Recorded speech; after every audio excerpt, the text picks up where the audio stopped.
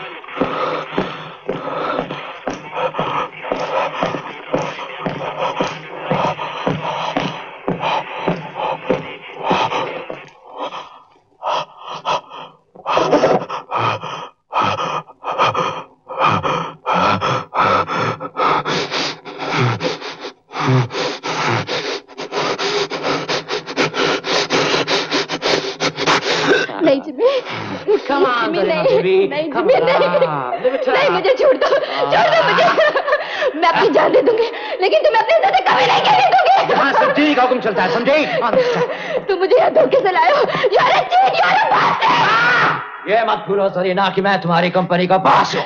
तुम बॉस नहीं तुम कुत्ते हो। अगर मुझे तुम्हारे बारे में जरा भी कभी नहीं आते कभी नहीं आती. तुम्हारा आज तक ऐसे घरों से पाला पड़ा है जरा से नहीं Yeah, stop.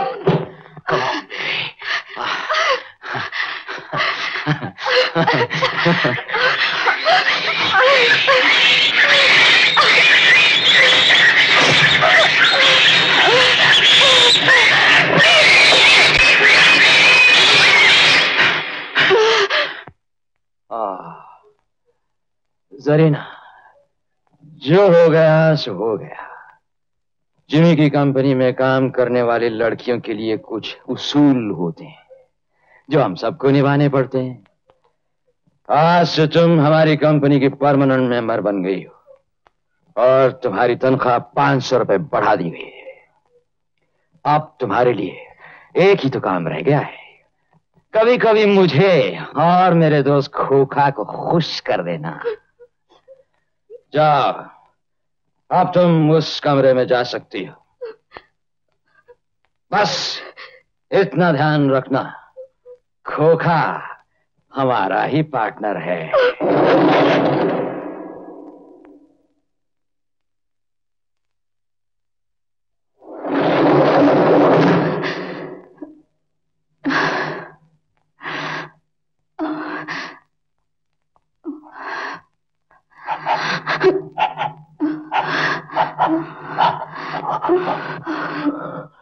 Hoka.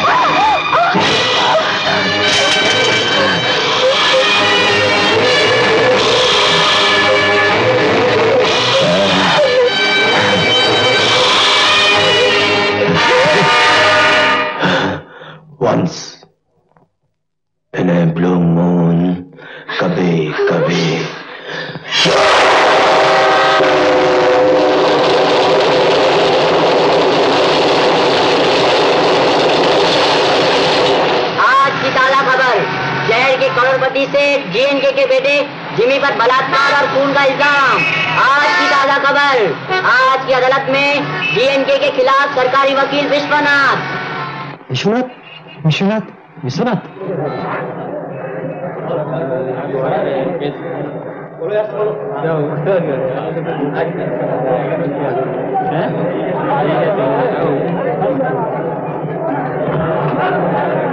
अब मज़ा आएगा केस सुनने में दोस्त। देखो सेठ जी एंड के ने अपने बेटे को बचाने के लिए मुल्क के छह बड़े बड़े वकील बुलवाए हैं। अरे यार छह बुलाया साठ। एक ही वकील काफ़ी है जिसका नाम है विश्वनाथ। हाँ। अरे वर्मा सेठ जीएन के बत्तीस करोड़ की पार्टी है चाहे तो सारा शहर खरीद सकता है। एक हज़ार रूपए कमाने वाला सरकारी वकील क्या कर लेगा? देखना बेटा आज क्या होता है? अरे यही तमाशा देखने सारा शहर आया है। मैं कहता हूँ विश्वनाथ ही जीतेगा। मैं कहता हूँ जीएन के जीतेगा। लगी बीस बीस रूपए की शर्त। हाँ हाँ लगी बीस बीस की। मिला मिला हाथ। मेरा विश्वनाथ पे सौ रुपया। मेरा भी सौ रुपया। मेरा पचास रुपया विश्वनाथ के ऊपर। मेरे विश्वनाथ पर बीस रूपए। एक का दस भाव। नहीं जीएम के।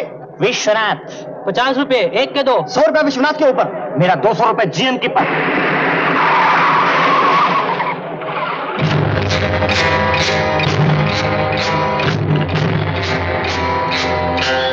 यही है सेठ जीएन के। बड़े रईसाना ठाट लगते हैं।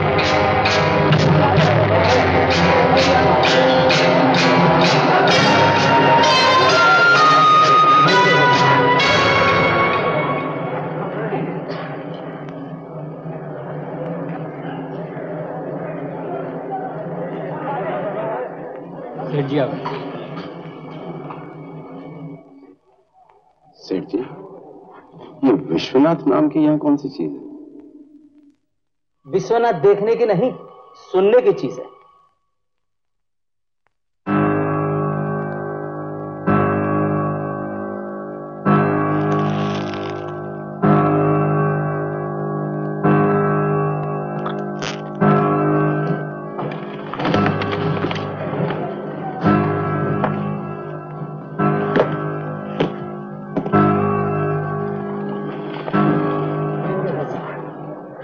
गोवर्धन लाल करोड़िया उर्फ़ जीएनके के बेटे, मिस्टर जिमी उर्फ़ जमशूचंद करोड़िया ने जीएनके वॉच कंपनी में काम करने वाली एक टाइपिस्ट लड़की को किसी बहाने खंडाला ले जाकर सेठ पुखराज के बंगले में उसने और उसके साथी, जो फरार बताया जाता है, दोनों ने मिलकर उस लड़की की इज़्ज़त पर धावा बोला और बाद में उसका कत्ल कर दिया। वाह योर ऑनर सारे शहर में इस केस का जितना शोर है उतना ही ये केस कमज़ोर है। सेठ जी के चंद दुश्मनों की बनाई हुई साजिश का पर्दाफाश करने के लिए मैं इस केस से मुतालिक कुछ लोगों से पूछताछ करना चाहूँगा। अदालत आपको इजाज़त देती है। थैंक यू योर ऑनर कत्ल की रात सेठ जी ने अपने बॉम्बे वाले बंगले में एक बहुत बड़ी पार्टी दी थी। उस पार्टी में उनके पार्टनर सेठ पुखराज जी और पुलिस कमिश्नर श्री एस के महंता शामिल थे। तो सबसे पहले मैं सेठ पोखरा जी से कुछ सवाल पूछना चाहूँगा। सेठ पोखरा जी जिस बंगले में वो कत्ल हुआ वो बंगला आपका है? अ, जी हाँ बिल्कुल मेरा है और मैंने उसे अपने आराम के लिए बनवाया है। सिवाय मेरे वहाँ कोई जाता भी नहीं। मिस्टर जिमी ने कभी आपके बंगले में जाने की कोशिश की? वकील साहब मिस्टर जिमी सेठ जीएन के करता है। उसके पास होटलों और बंगलों की कोई कमी नहीं। अ, मेरा तो ख्याल है कि इसने मेरे बंगले की शक्ल तक नहीं देखी। दैट्स पॉइंट तो फिर वो हसीना मिस सरीना आपके बंगले में कैसे पहुँची? मिलॉर्ड मैं वकील साहब से दरखास्त करूँगा कि ये सवाल बजाय मेरे अगर मेरे बंगले के चौकीदार बिहारी से किया जाए तो बहुत बेहतर। मिस्टर विश्वनाथ आपको इनसे कोई सवाल पूछना है? जी नहीं। आगे आगे देखिए होता है क्या? उस शाम बंगले पर एक साहब और एक लड़की आए। बोले हम सेठ के आदमी हैं रात को यहीं ठहरेंगे। बिहारी उन मेम साहब के साथ जो साहब आए थे उन्हें पहचान सकते हो? कुछ कुछ। देखा काफ़ी था ना साहब? हम्म। वो साहब जो सामने खड़े हैं वो तो नहीं? नहीं नहीं। वो तो काफ़ी ऊँचा लंबा पतला दुबला आदमी था। ठीक है तुम जा सकते हो। हाँ अगर विश्वनाथ साहब को सवाल पूछना चाहें तो जी नहीं। ये तो सब जीएनके के पिट्टू हैं। सब ड्रामा बना के रखा है। तो विश्वनाथ सवाल क्यों नहीं पूछता? हाँ, मिस्टर लाल कत्ल की रात उस बंगले में जरीना की उस आदमी से काफ़ी हाथापाई हुई। और उसी जगह पर पुलिस को एक फटी हुई कमीज का कॉलर मिला। पुलिस और सरकारी वकील का यह कहना है कि यह कॉलर जिम्मी के अलावा किसी और का नहीं। आपका इस बारे में क्या कहना? ये ऑनर माना इस कॉलर का साइज़ नंबर जिम्मी की कमीज से मिलता है, लेकिन इस साइज़ की कमीज से लाखों लोग पहनते हैं। ये भी माना कि इस कॉलर पर उसी टेलर का लेबल और नाम छपा है, जहाँ जिम्मी अपने सारे कपड़े सिलवाता है। लेकिन योर ऑनर उस टेलर का भी यही बयान है कि इस साइज़ और इस कपड़े की कमीजें उसके सैकड़ों ग्राहकों ने सिलवाई हैं। तो योर ऑनर वो कैसे कह सकता है कि ये कॉलर जिम्मी की कमीज का है? मिस्टर विश्वनाथ आपको इस बारे में क्या कहना है? योर ऑनर अगर आप इजाज़त दें तो पहले मैं अपना सवाल खत्म कर लूँ। ठीक है आप अपना बयान जारी रखिए। अपन तो दो सौ रुपया जीत गया प्यारे। क्यों? अब तो विश्वनाथ के कॉलर का पॉइंट भी मार खा गया यार। मगर ये भाई ठंडा क्यों हो गया? योर ऑनर यहाँ की एक ऑर्गेनाइजेशन ने जिमी के बुलंद कारनामों पर एक फ़िल्म बनाई है। हम वकीलों की दरखास्त है आज से कि वो फ़िल्म अदालत को यहाँ, अभी और इसी वक्त दिखाई जाए। ताकि अदालत को पता चले कि मिस्टर जिम्मी ने समाज और अपने देश के लिए क्या क्या नहीं किया। गरीब बस्ती से लेकर विदेशी कंपनियों से रिश्ते कायम करने वाला ये होनहार नौजवान क्या ऐसी जलील, गंदी, घटिया हरकत कर सकता है? ठीक है। अदालत तुम्हें यह फ़िल्म दिखाने की इजाज़त देती है।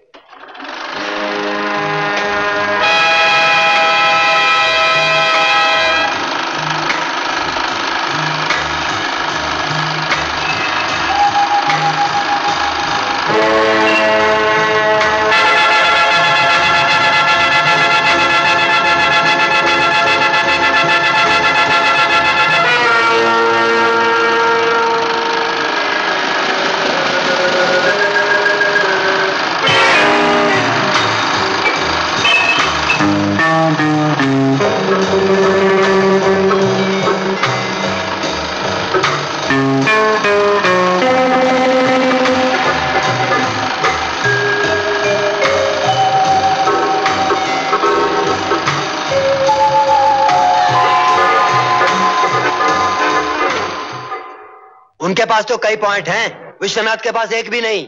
अरे अभी ठहरो तो यार। अभी विश्वनाथ बुलाई कहाँ है? मिस्टर विश्वनाथ इससे पहले कि अदालत किसी नतीजे पर पहुँचे अदालत आपका बयान सुनना चाहती। आपको कुछ कहना है?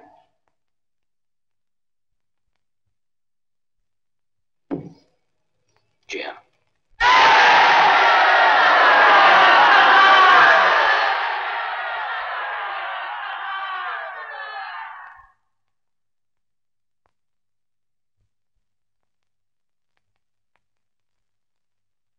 Your honour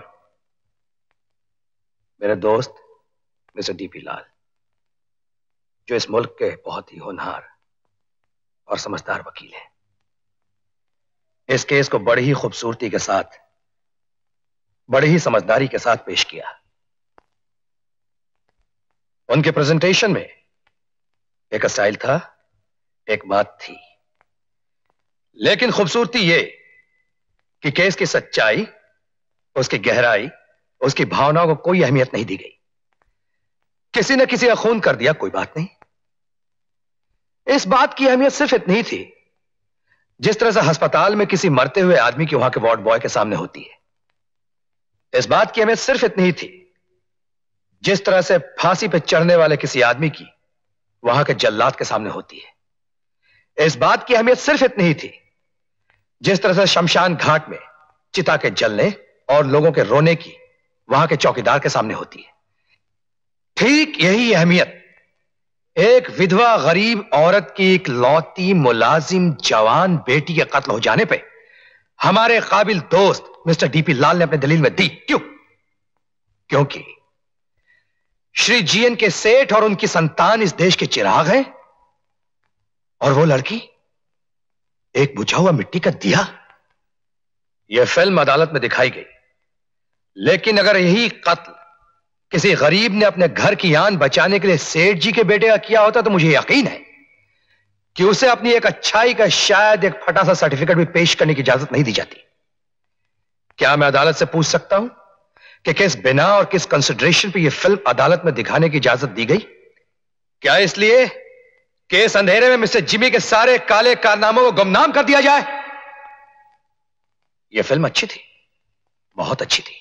no doubt about that लेकिन क्या मैं अपने काबिल दोस्त, मिस्टर डीपी लाल और उनके सहयोगी वकीलों से पूछ सकता हूँ कि वो फ़िल्म कहाँ है जहाँ मिस्टर जिमे रात भर अपने दोस्तों के साथ जुए और शराब में मस्त रहता है? वो फ़िल्म कहाँ है जहाँ इसके बंगले में होने वाले जश्नों में विश्व पर लाखों रुपए रद्दी कागज़ की तरह फेंक दिए जाते हैं? और वो फ़िल्म कहाँ है जहाँ वो विदेशों के साथ मिलकर गैर कानूनी एग्रीमेंट साइन करता है? और वो फ़िल्म कहाँ है जहाँ इसके प्राइवेट फ्लैट में कम सिन और मासूम लड़कियों की इज़्ज़त के साथ ज़बरदस्ती खेला जाता है? वो फ़िल्म कहाँ है? नहीं है। नहीं वो फ़िल्म। वो फ़िल्म ना है, ना मिलेगी, ना कभी दिखाई जाएगी। इसलिए कि मिस्टर जिमी सेठ जीएनके का लड़का है और वो एक टूटे हुए झोपड़े में रहने वाली लड़की जिसकी एक महीने की तनख्वाह मिस्टर जिमी के कुत्तों का एक दिन का खाने का खर्चा है। मैं कोई मैं कोई गरीबों के जज्बात या उनकी तकलीफों को भड़काने की कोशिश नहीं कर रहा। और ना ही कोई मैं अमीरों के खिलाफ। मैं सिर्फ़ उन अमीरों के खिलाफ हूँ ऑनर जो ये समझते हैं कि पैसे के ज़ोर से वो कानून तक को खरीद सकते हैं, हालाँकि नहीं, हरगिज नहीं। यहाँ सिर्फ़ दो ही किस्म के आदमियों की जाँच होती है गुनहगार की और बेगुनाह की। फिर ये सबूत ये गवाहियाँ दलील ये बात किस लिए? मिस्टर प्रोसिक्यूटर अदालत यह महसूस कर रही है कि आप ज़रूरत से ज़्यादा जज्बाती हो रहे हैं। मिस्टर लाल के दिए हुए सबूत गवाहियों और दलीलों को आप नजरअंदाज करना चाहते हैं। It's not that your honour it's not that I sure you ये केस बिल्कुल सच्चा है बिल्कुल खरा है। इसका सबूत अब तक मेरे पास सॉलिड नहीं था लेकिन अब पक्का हो चुका है। तो क्या मैं भी अदालत से इस बात की दरखास्त कर सकता हूँ कि मिस्टर जिमी की और रंगीन फ़िल्म एक बार फिर से चलवाई जाए? Start the film again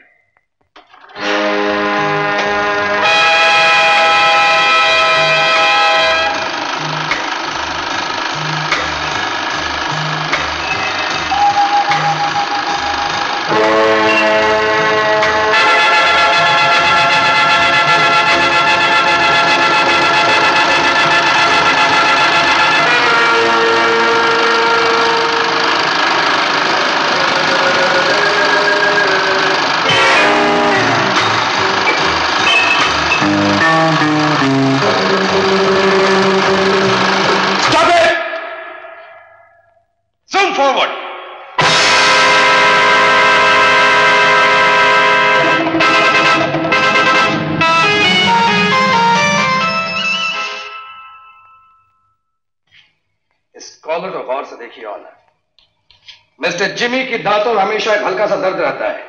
और उनकी एक खास आदत है कि हमेशा खाना खाने के बाद अपने दांतों को चांदी के खास पिन से साफ़ करते हैं। और वो चांदी का पिन रखने के लिए उनकी हर कमीज की हर कॉलर में एक खास जगह बनी होती है। देखिए ऑनर वैसा ही एक पिन आपके सामने है, जो उनकी कॉलर में पड़ा था। वैसा ही एक पिन जो सामने फ़िल्म पर दिखाई पड़ रही है।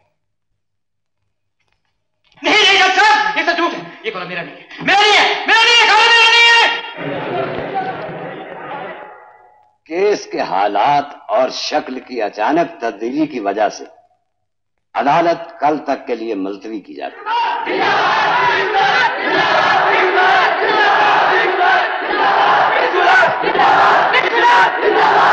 बेटा विश्वनाथ हम गरीब लोग तुम्हारा कर्ज कैसे चुका सकते हैं? आप फ़िक्र न कीजिए माँ जी।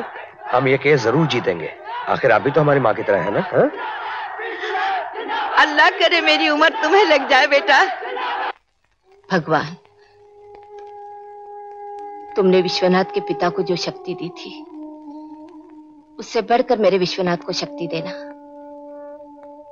बस उसकी एक चिंता दूर कर देना भगवान। मुन्नी का ब्याह जल्द से जल्द कर देना। तुमसे किसने कहा माँ की मुन्नी की ब्याह की चिंता मुझे है? उसके भाग्य में जब लगन होगा हो जाएगा।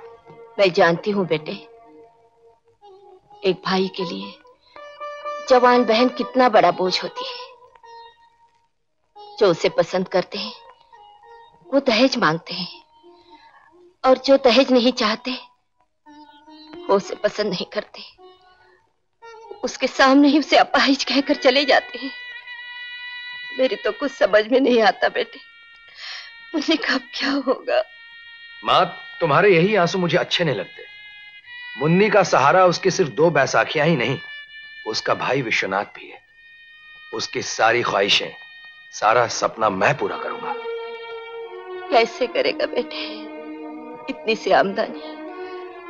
उसके इलाज के लिए पंद्रह बीस हज़ार रूपए कहाँ से लाएगा? माँ मैं कहीं से देखा ना तुम्हारी यही बातें मुन्नी को और कमज़ोर कर देंगी।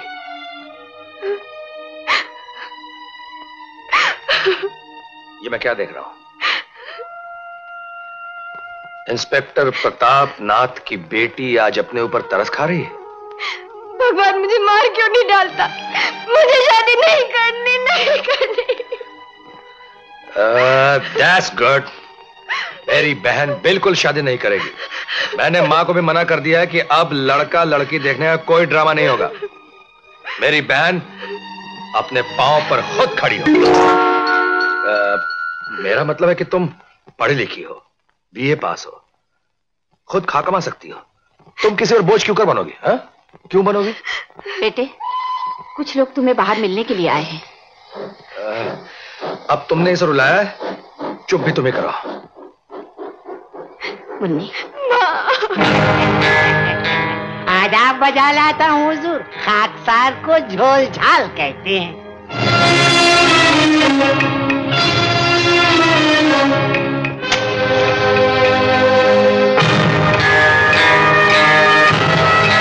कहाँ से आए आप लोग?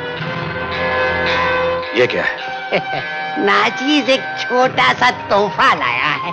शहर की मशहूर हस्ती जी एन के साहब की तरफ़ से पैगाम भेजा है।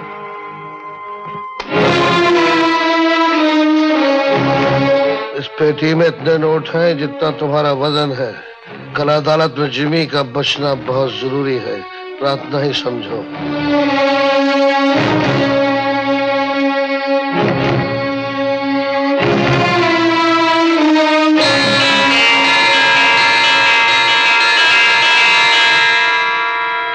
जितनी बड़ी तुम्हारी पेटी है उतना बड़ा मेरा घर नहीं।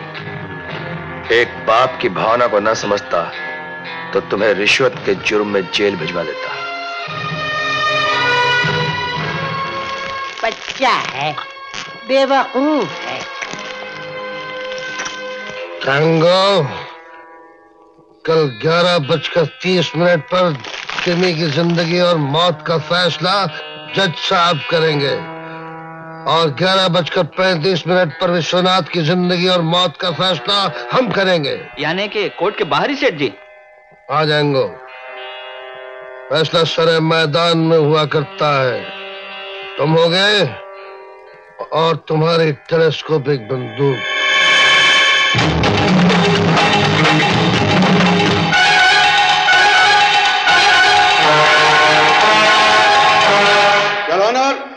कत्ल की रात या उस वक्त मिस्टर जिमी वहाँ मौजूद नहीं था।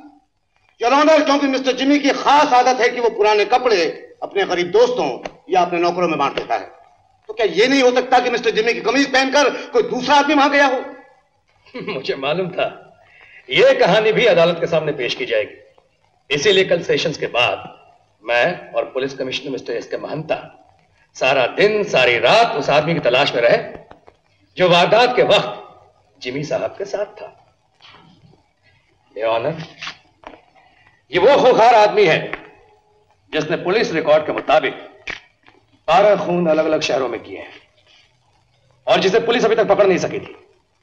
मकाम वारदात पे पुलिस को कुछ माफिया के इंजेक्शन मिले और साथ में उस खुखार आदमी के पंजों के निशान, जिसके बिना पर पुलिस उस आदमी को पकड़ने में कामयाब हो सकी।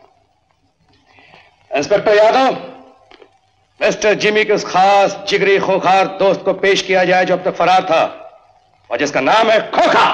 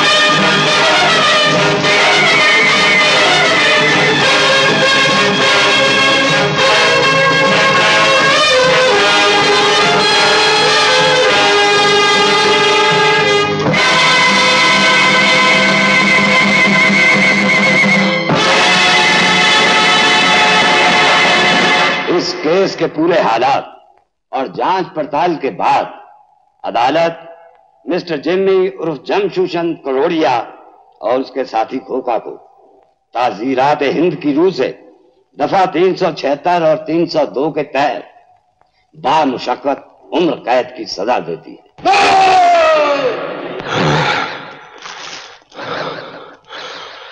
Once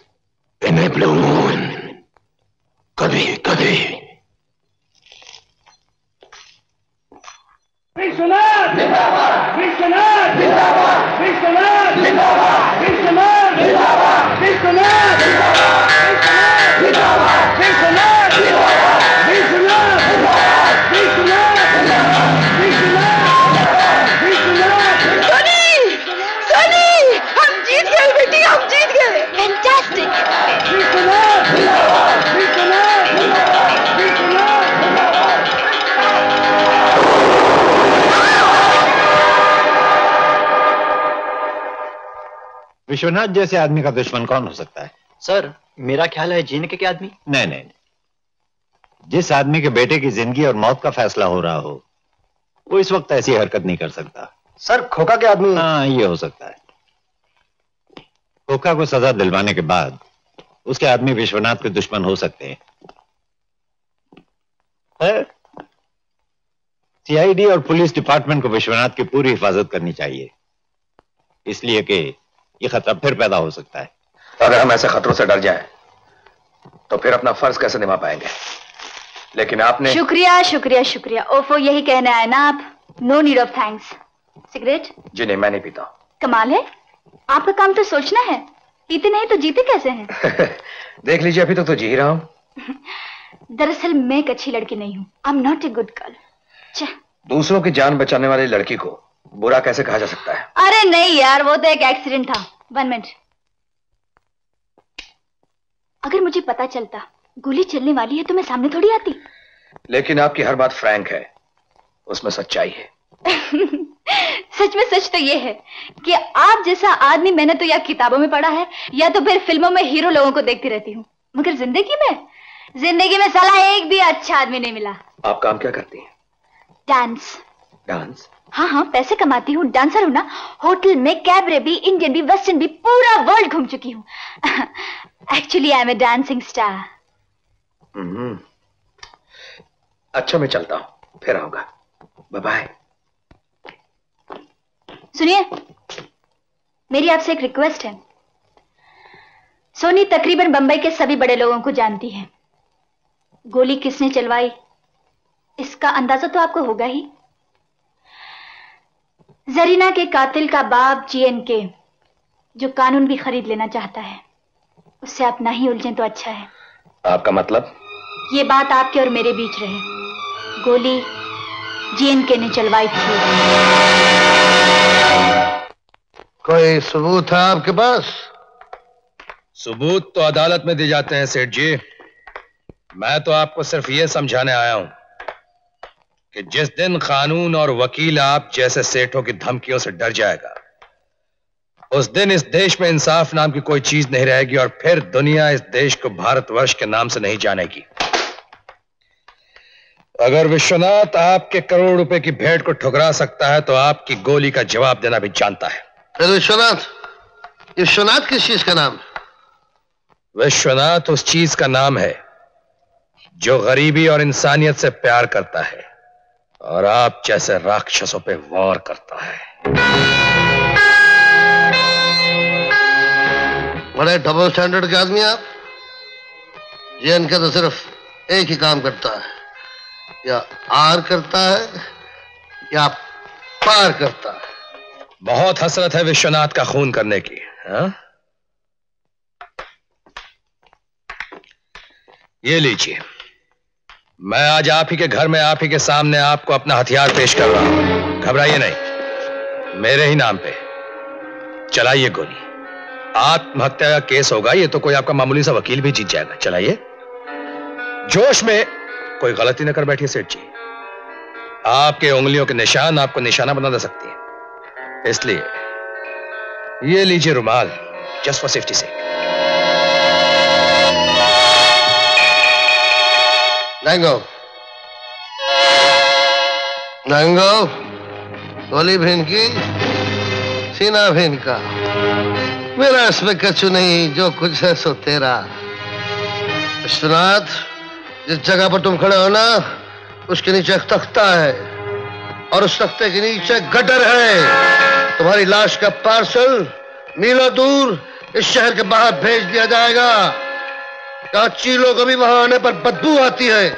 आप वो खून कभी नहीं करवा सकते जो जिमी के साथ साथ आपको भी फांसी के तख्ते तक ले जाए। फांसी?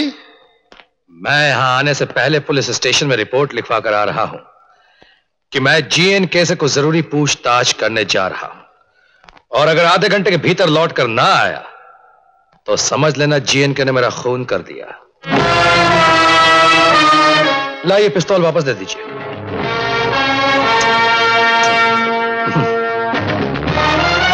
सेठ जी, अक्लमंद अपनी अकल से दौलतमंद बन सकता है, मगर दौलतमंद अपनी दौलत से अकलमंद नहीं बन सकता। इसलिए आप बेवकूफ़ हैं, जो इतनी जल्दी नर्वस हो गए। पुलिस इस तरह के केस दर्ज ही नहीं किया करती, ऐसे मामलों में साथ आया करती जी एन के मेरे यहाँ आने का मतलब सिर्फ़ इतना था कि विश्वनाथ से लड़ने की कोशिश करना अपने आप को जंजाल में फंसाना है, और अगर अब भी समझ में ना आया हो तो मेरा पता है thirty one Irish park phone number five four seven four four nine good night too smart है अब मज़ा आएगा जंगो जब कोई कड़क सुपारी दांतों से न टूटे तो उसे थोड़ी देर पानी में भिगो कर रख देना चाहिए। जनाब आली के हर कदम पर नज़र रखी जाए। ये मेरे डैडी हैं।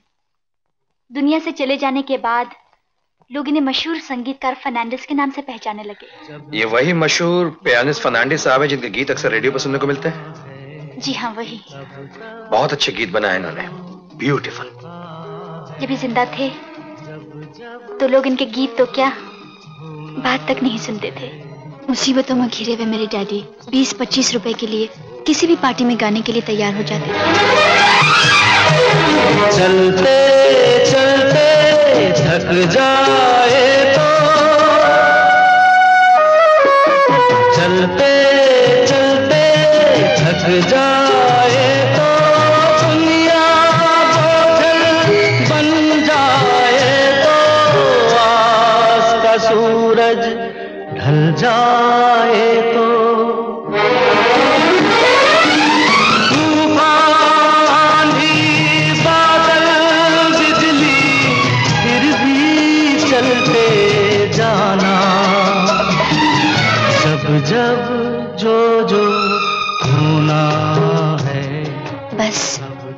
अपनी कला को गरीबी में लिपटाए।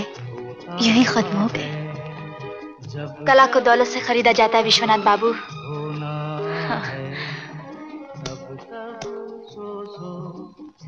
एंड यू नो इसलिए मैंने अपने नृत्य कला को खूब बेचा, खूब दौलत कमाई।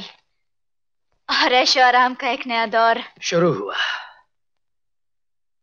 मगर आपने कभी यह भी सोचा कि आपके अंदर एक हिंदुस्तानी औरत भी छुपी है? ये नंगेपन का डांस ये सिगरेट ये शराब। ये सब हालात के कारनामे हैं।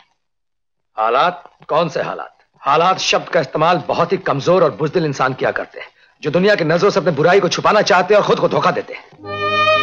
काश आप एक लड़की को समझ पाते हैं जो ज़िंदगी में अकेली है तनहा है हंसती है लेकिन अपनी आहों को छुपाकर और सोनी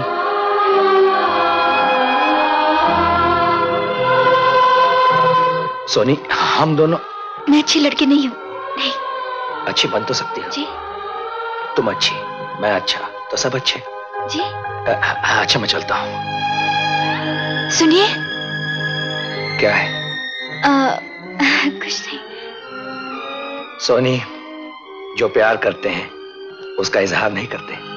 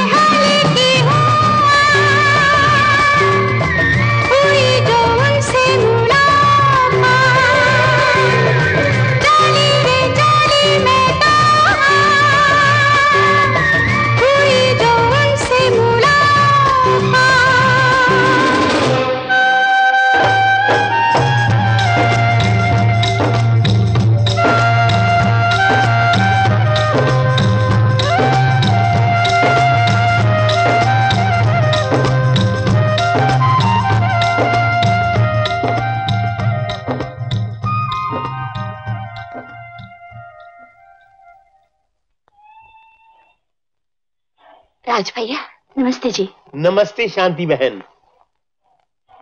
इतने बरसों के बाद? अरे मिले तो सही शांति बहन। राजरानी प्रतापनाथ के चले जाने के बाद इस औरत ने जो दुख उठाए हैं और इस कदर अपने दोनों बच्चों को ग्रेट बनाया है ये सिर्फ़ शांति बहनी कर सकती है। विश्वनाथ प्रतापनाथ की पुरानी दोस्ती की खातिर आज तक मैंने तुम्हें कुछ दिया तो नहीं लेकिन आज मैं तुमसे एक चीज़ मांगने आया हूँ। हुक्म कीजिए अंकल। अपने बेटे विजय के लिए मुनि का हाथ। मेरा बेटा विजय बंबई के एक बड़ी कंपनी में सेल्स मैनेजर है। हर महीने दो हज़ार रुपए कमाता है। ये उनका फ़ोटो है आप भी पसंद कर लीजिए। तो हम ये सगाई पक्की समझे? राज अंकल अंधकार से पूछा जा रहा है कि क्या तुम्हें रोशनी चाहिए? ग्रेट शांति बहन मुँह मीठा कराओ मिठाई खिलाओ। एक बात पूछो अंकल? ये घर का सारा ब्यौरा आपको दिया किसने? अरे वो मीरासी आया था वही जो तुम्हारे कचहरी के बाहर घूमता फिरता है। क्या नाम है उसका? गोलू गवा गोलू गवा सच का झूठ और झूठ का सच बना देने वाला एक ही गवाह। वो है गोलू गवाह। हर केस का सुलझाओ मिनटों में। गोलू गवाह की फ़ीस हर के लिए एक ही है। चोरी के इल्ज़ाम में पच्चीस रुपए, एक्सीडेंट में तीस रुपए, डकैती में पचहत्तर रुपए, जायदाद मकान में सौ रुपए और खून के इल्ज़ाम में दो सौ रुपए। वकीलों से परेशान लोगों के लिए ताकीद है कि वो गोलू गवाह से भेंट करे। अरे गीता पर हाथ रखकर झूठी गवाही और झूठी कसम गाना कोई आसान गल नहीं वो एक ही कर सकता है। और आप लोगों का दोस्त आप लोगों का हमदर्द गोलू गवाह। अरे गोलू गवाह ए डब्ल्यू डी मतबल एडवोकेट विदाउट डिग्री कोई ग्राहक आया? आया। सेठ रतिराम। हाँ आओ सेठ रतिराम। मलंग हमें क्या करना होगा काम? तलाक का है काम बीवी पर बच्चली का इल्ज़ाम। मुझे बचा ले भाई शादी करके बड़ा पछता रहा हूँ। राम कसम मुझे बचा ले। अरे सत्यनाम सेठ शादी तो होती है बर्बादी इसीलिए तो हमने अभी तक नहीं की। गुल ये सौ रुपया गवाही के एडवांस सेठ अब बस समझ ले कि तुम्हारा हो गया काम। अब इधर और खड़े रहकर हमें ना करो बदनाम चलो। हाँ, हाँ। एक नंबर का यहाँ से सेठ। अरे हमें भी तो भरना है अपना पेट। गोलू भैया? अरे ये गोलू भैया की कौन सी पहन आ गई? सेठ रत्तीराम की बीवी हूँ। तीन बच्चे लेकर कहाँ जाओ वो किसी लड़की के चक्कर में आके मुझे तलाक देना चाहते हैं। ओ भाई ये हमें नहीं मालूम। हमारा तंदा गवाही देना। तू ज़्यादा पैसे दे दे। उन्होंने तो एक पैसा भी नहीं छोड़ा मेरे पास जो मैं वकील कर सकूँ। ओह यही तो मुसीबत है। ये ले फड़ अपने पति के सौ रुपए। पर मैं गवाही उसी की दूँगा हाँ?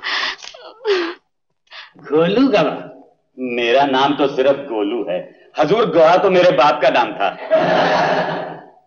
क्या ये सच नहीं कि तुम हर दूसरे तीसरे दिन किसी ना किसी की गवाही देने चले आते हो?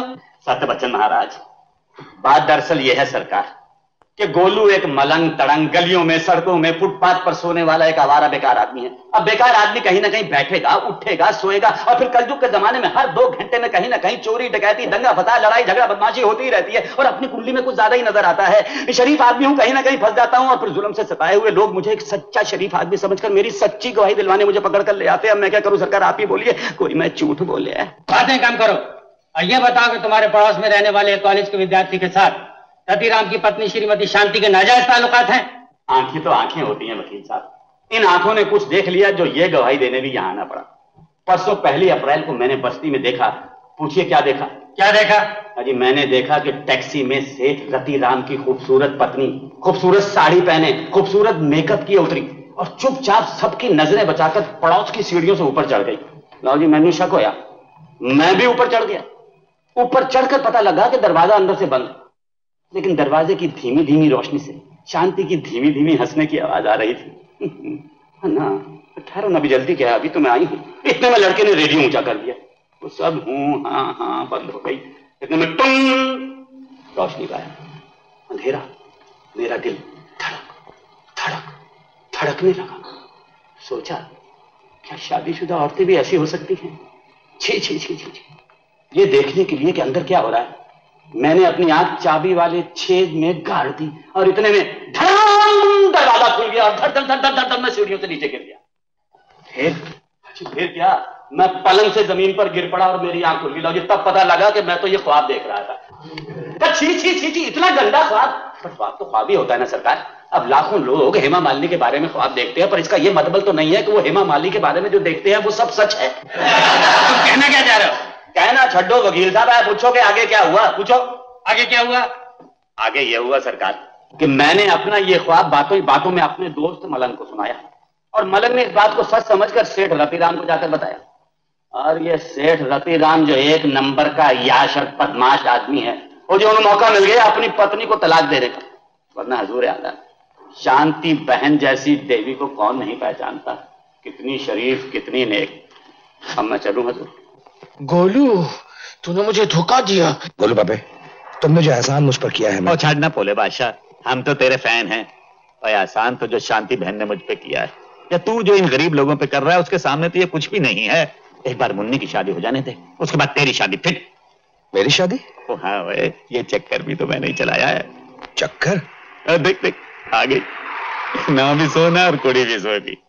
सोनी? हाँ। सोनी को तुम जानते हो? इसको तो मैं बहुत पहले से जानता हूँ। बहुत ही अच्छी कुड़ी है बहुत ही चंगी कुड़ी है। लेकिन एक बात का ख्याल रखना मैंने इससे झूठ कहा था कि तुमने इसे यहाँ बुलाया है। यानी तुम झूठ बोलना छोड़ोगे नहीं। ये जगह झूठ तो कहीं बोलते नहीं नेवर नेवर वहाँ पे ग्राहक आया धंधा बिज़नेस है चल भाई चल।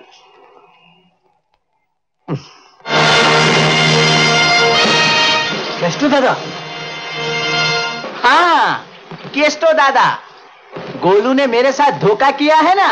अब देखो उसका कैसा ढोकला बनता है। साला सारी गवाही भूल जाएगा। चलो तो। केस्टो दादा केस्टो दादा। केस्टो दादा। गोलू का घर कौन सा है? वो है।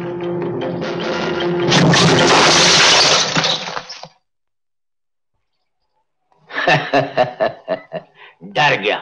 गोलू! असली बाप का बेटा है तो बाहर निकल।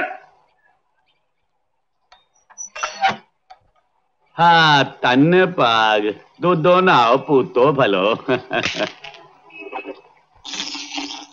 कौन केस्टो दादा?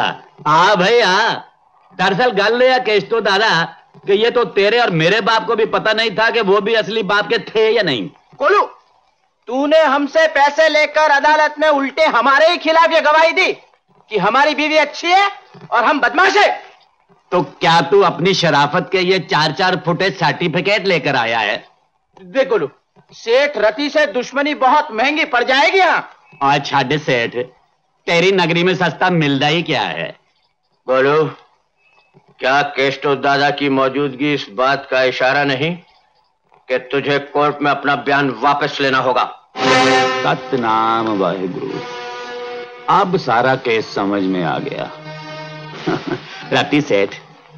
और जो तू ये फाइटर अपने साथ लाया है ना इनको तो मैं बचपन से फाइटिंग सिखाता आया हूँ। और 25 साल तक की तक ही है फाइटिंग ही तो कीती है। अब छड़ देती है। अरे ये अरे गहरे नत्थू खैरे मेरे साथ क्या लड़ेंगे बेचारे? चुप चिल्लाने वाले में दम कम होता है केस्टो दादा। कोलू गवाह का एक सवाल हल कर दो। फैसला अपने आप हो जाएगा। ये मेरे पास एक सिक्का है। और ये सिक्का उस वक्त से है जब गोलू गोवा गोवा नहीं हुआ करता था। गोलू दादा हुआ करता था। और आज तक किसी शेर के पुत्र में इतनी हिम्मत नहीं हुई कि इस ओलंपिक शील्ड को मुझसे छीन सके। ले एक कोशिश तो भी कर ले। चल भाई चुकू। ले भाई। रहा सिक्का। गोलू के चक्कर में। गोलू को हराना है तो ये सिक्का ज़मीन से उठा लो। चलो। आओ पुत्रो क्यों सेठ और कितने आदमी लाया अपने साथ छे तो भेज उन छक्कों को चुकन है हाँ, क्यों बेटा ठीक है ना फ़र्स्ट क्लास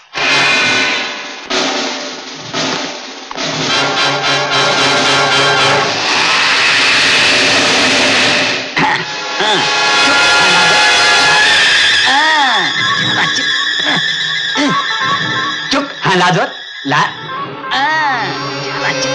ओए अंगद दा पैरी। हाँ चुप हाँ पुत्र ला ला ज़ोर ला। हाँ, ओए सेठ। ओए अपने दादा को समझा क्यों मेरे पाँव पड़ता है? और पढ़ना ही है तो जाके तेरी नेक बीवी के पाँव पड़े। हाँ चुप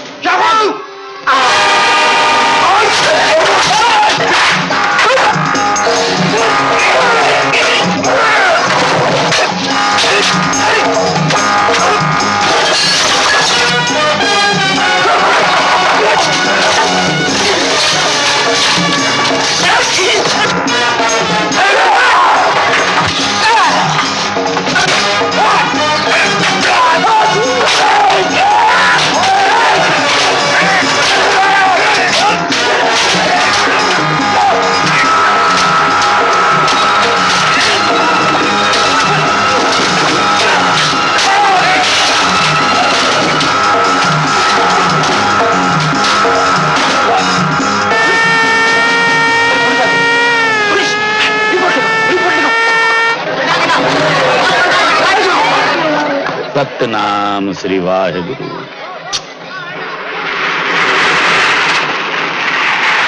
भैया। सॉरी मैम साहब। इस वक्त थोड़ी कोई सेवा नहीं कर सकता। मेरी ट्रांसफ़र का टाइम हो गया है। मगर तुम क्यों परेशान होती है? अरे ये तो चलता ही रहता है। कभी अंदर कभी बाहर। सोनी विश्वनाथ को कहना कि अगर मैं जेल से जल्दी छूट गया तो मुन्नी के मामे की रसम मैं पूरी करूँगा। नहीं तो वाहेगुरु तेरे खेलने आ रहे। चल भाई थानेदारा ले चल तुझे कर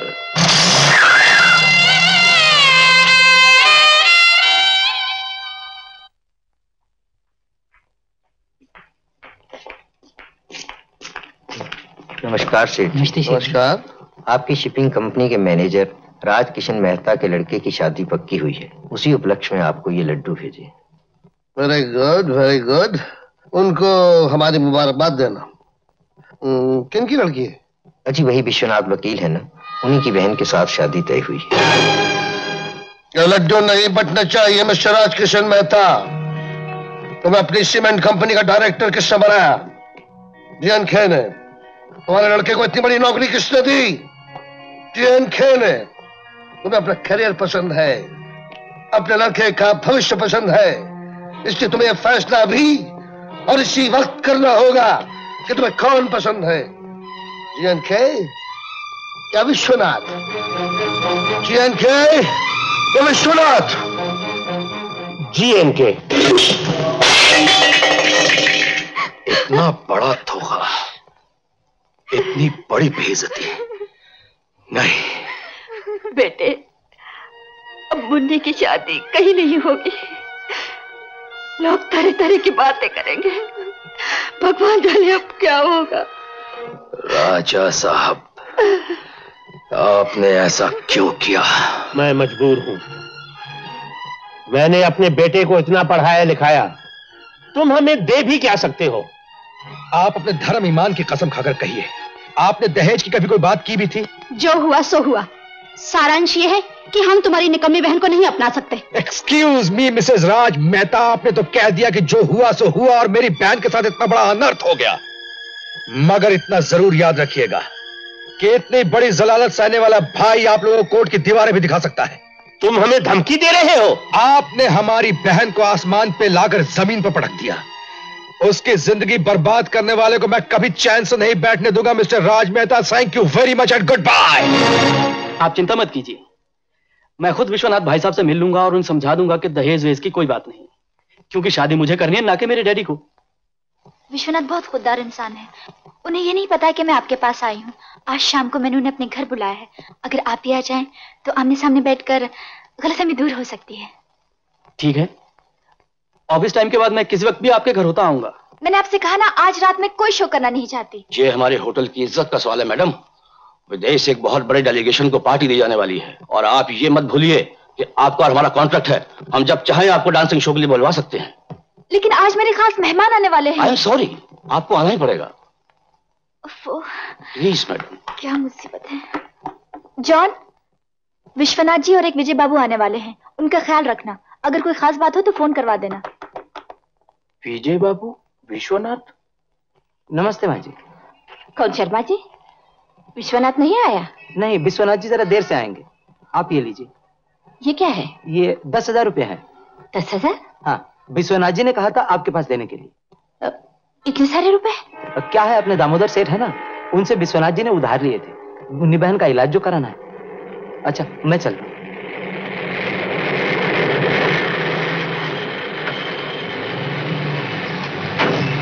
निकल चल।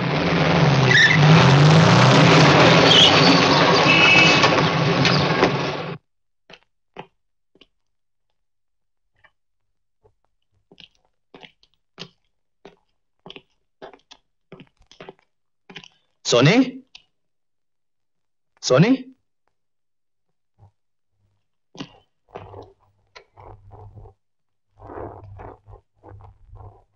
सोनी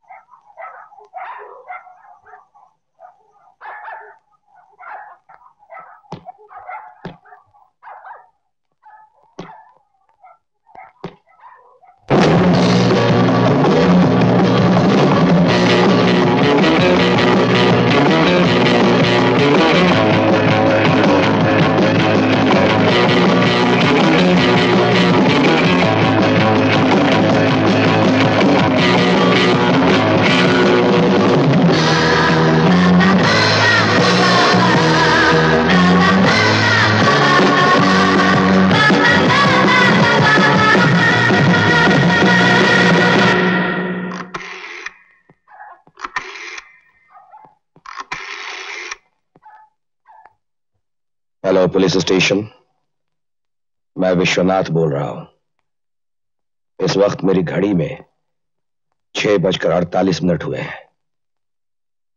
यहाँ किसी का खून हो गया है। आप बोल कहाँ से रहे हैं? मैं जुहू से सोनी के बंगले से बोल रहा हूँ। अब मेरा नाम इंस्पेक्टर कुंटे है। Okay okay okay. मेरी घड़ी में छह बजकर पचास मिनट। आप वहीं रुकिए हम लोग अभी आते हैं।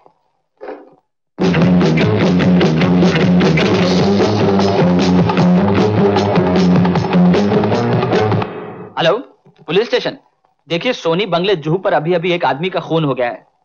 खून से पहले हमने मशहूर वकील विश्वनाथ को अंदर जाते हुए देखा है।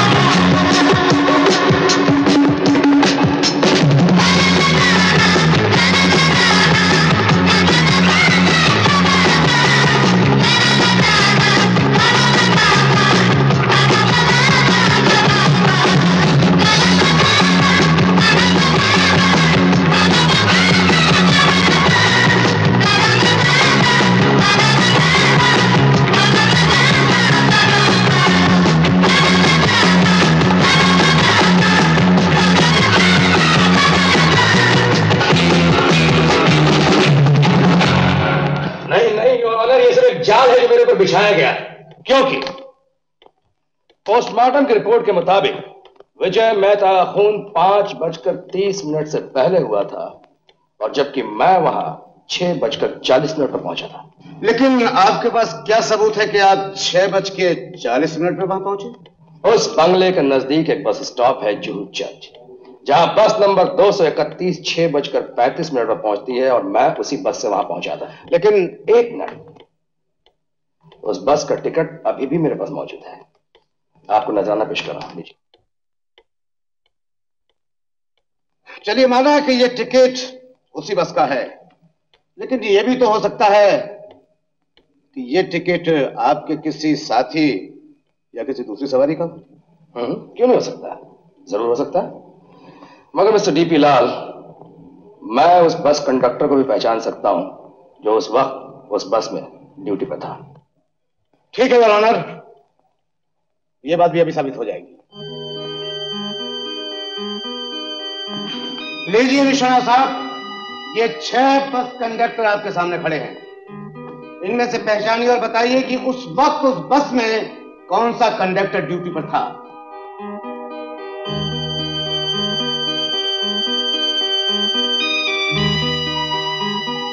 दाहिनी ओर से दूसरा आदमी जो खड़ा है, उस वक्त ड्यूटी पर वही था। ये साहब जो कह रहे हैं वो ठीक है? जी हाँ। मैं उस वक्त ड्यूटी में था। यस। मैं पुखराज बोल रहा हूँ। हाँ ठीक है जल्दी बोलो क्या हुआ? विश्वनाथ खून के इल्ज़ाम से तो बच गया है लेकिन रिश्वत के इल्ज़ाम से नहीं बच सकता क्योंकि हमने उसके असिस्टेंट शर्मा को खरीद लिया है। मिस्टर शर्मा? जी। विश्वनाथ के असिस्टेंट होने के नाते आप ये कबूल करते हैं कि विश्वनाथ ने आपको दस हज़ार रुपए अपने घर पहुँचाने के लिए दिए थे? जी हाँ वो विश्वनाथ जी ने दामोदर भाई से लिए और मुझे घर पहुँचाने के लिए कहा था। वो क्या है? और दामोदर भाई ने मुझे बाद में बताया कि वो पैसे उन्होंने कुछ उनके केस को इधर नहीं अब हाँ इधर उधर करने के लिए दिए थे। शर्मा तुम जानते हो तुम क्या कह रहे हो? जी हाँ हम जानते हैं ना। हम जो जानते हैं वही कह रहे हैं उसके सिवा तो कुछ नहीं कह रहे।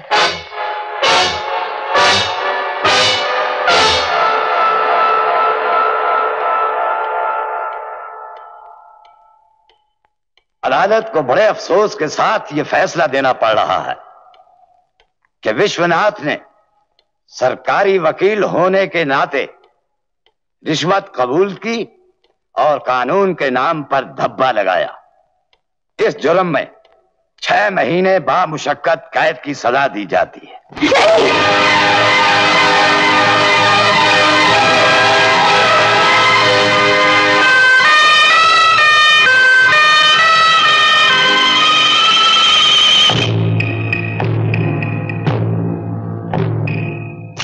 बाबा जी जेल यात्रा का बड़ा बड़ा फ़ायदा होता है। काम करते करते काम करने की आदत पड़ जाती है। अब मध्य पलवान और काम कर करके तेरी सेहत को तो दो इंच भी फ़र्क नहीं पड़ा। और देख कमर का कमरा बन गया है। भाई गोलू पापे दे राज में गोली होना है सेहत कटन का सवाल ही नहीं पैदा होता। सतनाम श्री वाहिगुरु। लगता है कोई नवा परिंदा आ रहा है। और केस तो बदमाश हो। रहा है हम्म। विश्वनाथ? देख यार।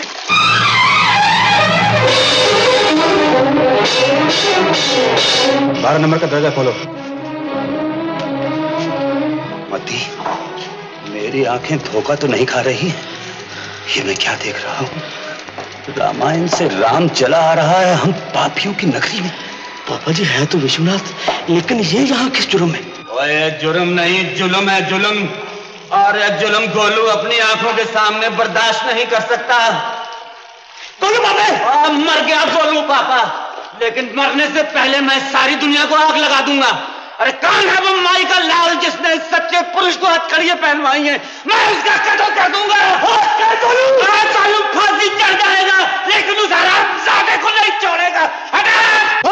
हरिराम बंद कर दो इसे। और जेलर और तेरी सलाखें गोलू की ताकत से ज़्यादा मज़बूत नहीं है। और तुम्हारी अदालत इसे मुजरिम ठहरा सकती है। ऊपर वाले की नहीं। और थानु शर्म नहीं आई इस भगवान की पूर्ति को याद आते हुए। और विश्वनाथ, तू घबराना जब तक गोलू ज़िंदा है, तेरे साथ है।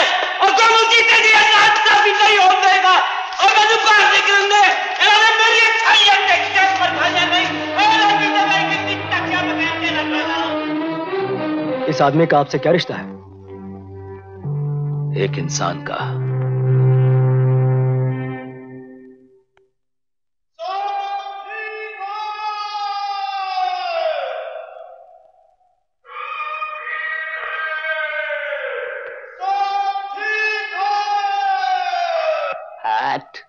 क्या ठीक है?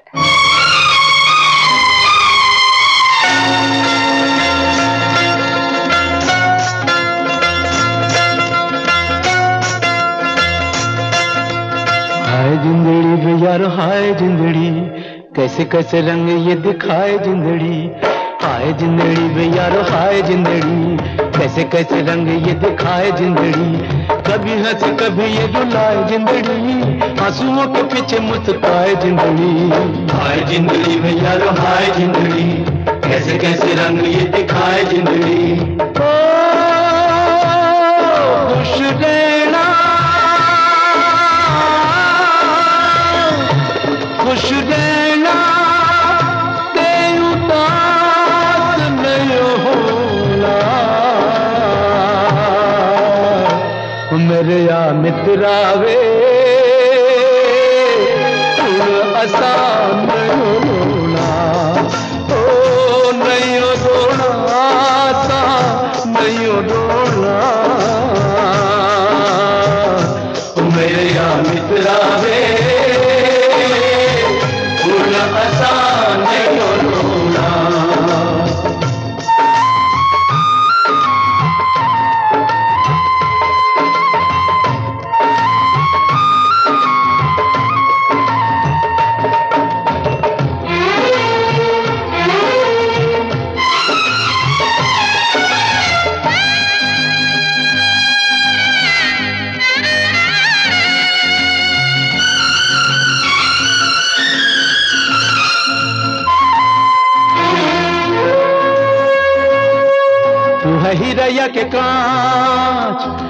तू है के कांच प्रभु आप ले गजाच कभी सांच को तो आज नहीं आए रे।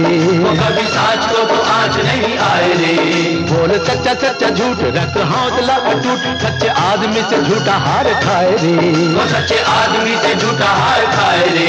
दाग दिल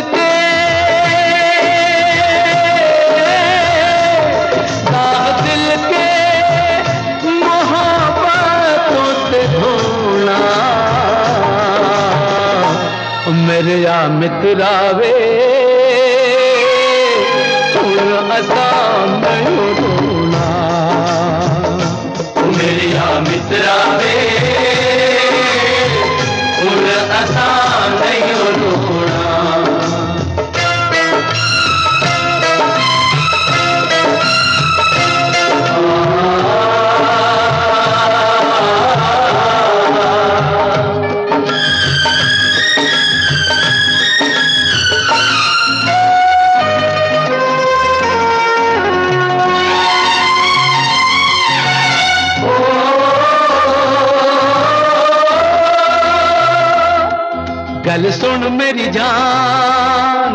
गल सुन मेरी जान कहेगी ते कुरान। पेड़ फलता नहीं है कभी पाका।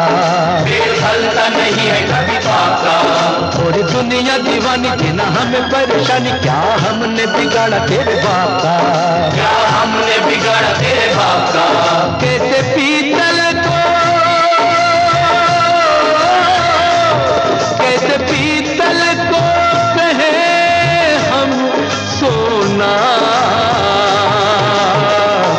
मेरे या मित्रावे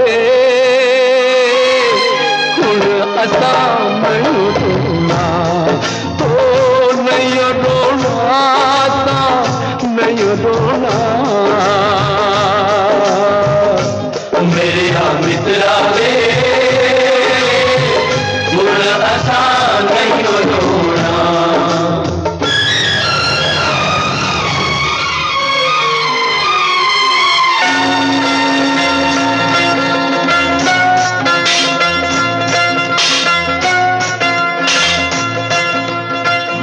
मर कर ये गुजारी जिंदड़ी। बिगड़ बिगड़ ये सवारी जिंदड़ी। मर मर कर ये गुजारी जिंदड़ी। बिगड़ बिगड़ ये सवारी जिंदड़ी। मत कहो इसको हमारी जिंदड़ी। मांगी है खुदा से ये उधारी जिंदड़ी। हाय जिंदड़ी में यारो हाय जिंदड़ी। कैसे कैसे रंग ये दिखाए जिंदड़ी। ओ इस जिंदड़ी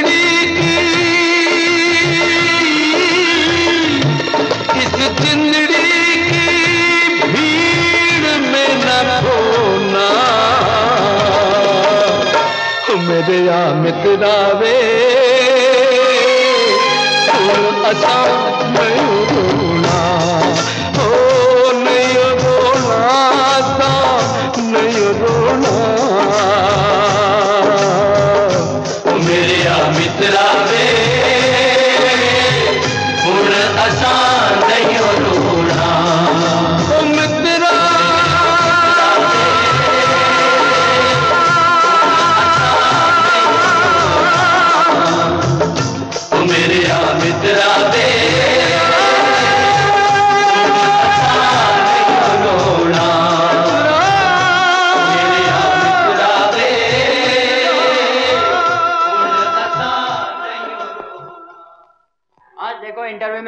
लॉटरी निकलती है। यार, आज इंटरव्यू में बड़े अजीब अजीब सवाल किए। अरे मेरा नोट अरे मेरा नोट पकड़ो। अरे कोई है?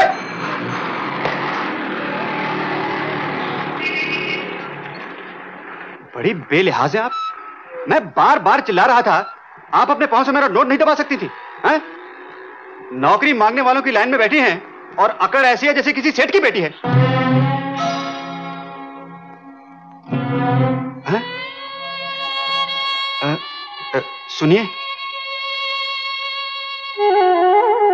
आई एम सॉरी मुझे मालूम नहीं था।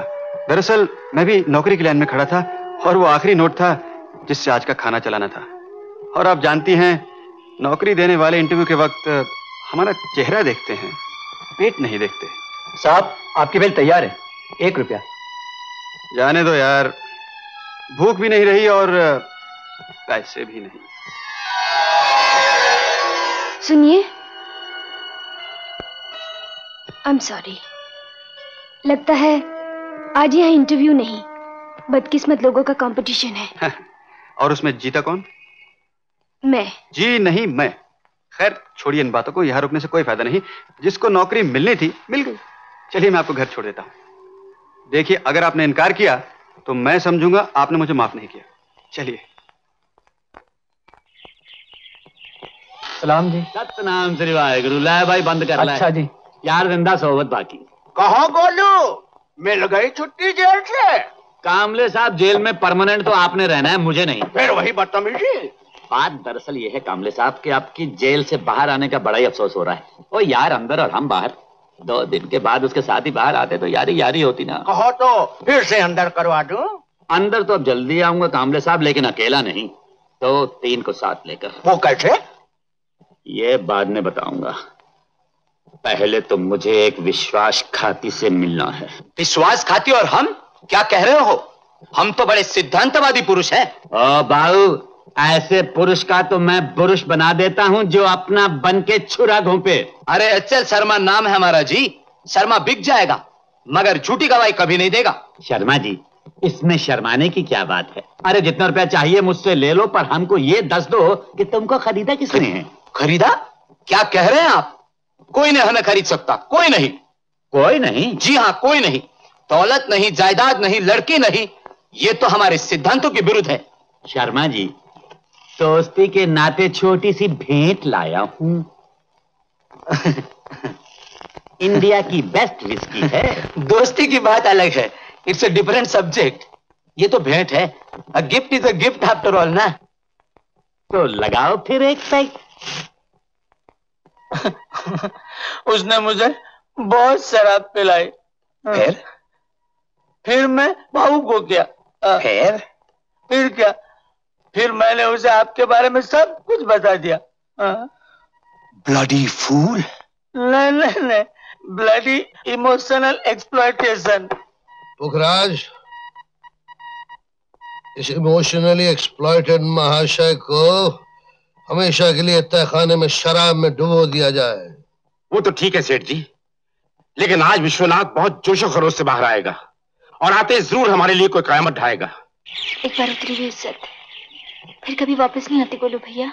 और छठ पहन बड़े बड़े देशभक्त जेल हो आए उनकी तो इज़्ज़त कोई नहीं कटी। एक आइडिया आया है। मैं बस्ती जाता हूँ। उनसे नहीं मिलोगे? उसको घर पे ही मिलूँगा अपने बस्ती वालों के साथ। और ये दिखाने के लिए कि जेल जाने से गरीब इंसानों के दिलों से उसकी इज़्ज़त कटी है कि बड़ी है? मगर सुनिए ना। तू जल्दी से लेकर उसे घर पहुँच। चल। सिक्योरिटी इंतज़ाम के लिए विश्वनाथ की बहन मुन्नी को बाइज्जत हमारे सामने पेश किया जाए। माँ मैं भैया को लेने जा रही हूँ। माँ लगता है भैया आ गए।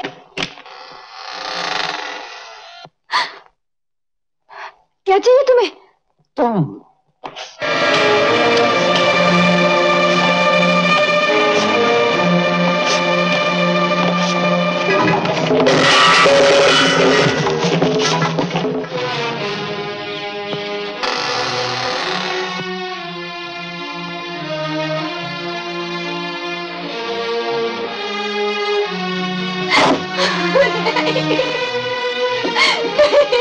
शोर मत कर, लड़की। चुपचाप चली चल।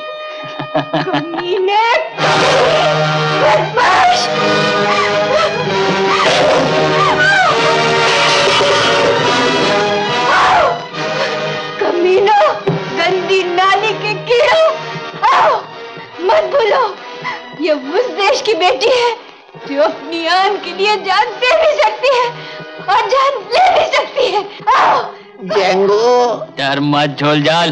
दीवार पे टंगी हुई बंदूकों में गोलियाँ नहीं हुआ करती।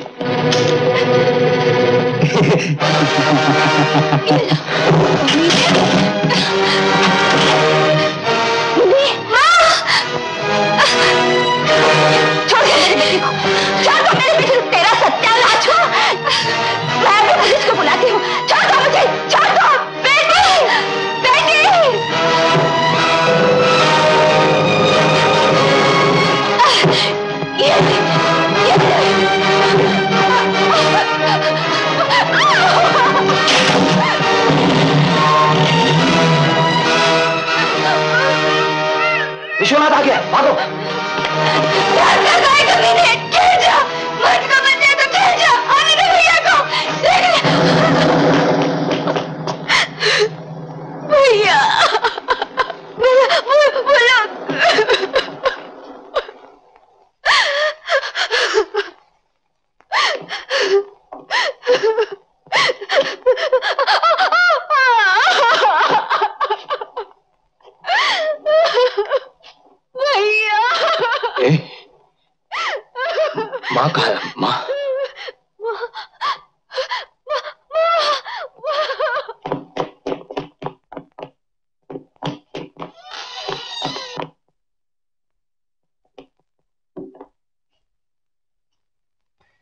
মা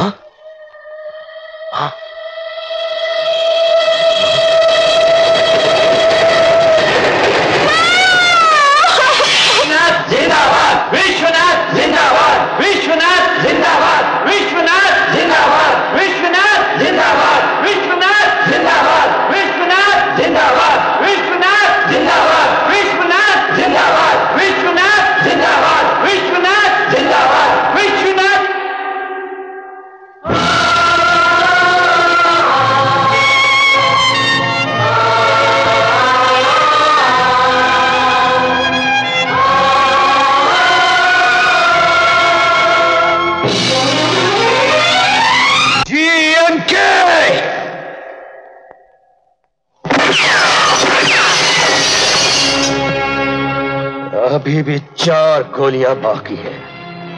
दो तेरे गंदे दिल को चीरने के लिए और दो तेरी मक्कार खोपड़ी के पार करने के लिए। देखा झोलझाल? जी सरकार। तड़पता हुआ पंछी शेर के जंगल में शेर को ही चोंच मारने आया है। लेकिन हम तुम्हें मारेंगे नहीं विश्वनाथ। क्योंकि हमें तड़प है तुम्हें तड़पाने की ज़िंदा रख के तुम्हें जलाने की। जीएनके की एक उंगली का इशारा किसी घमंडी का कितना सत्यानाश कर सकती है, वो तुम अच्छी तरह जानते हो। और बाकी रहे तुम्हारे अरमान।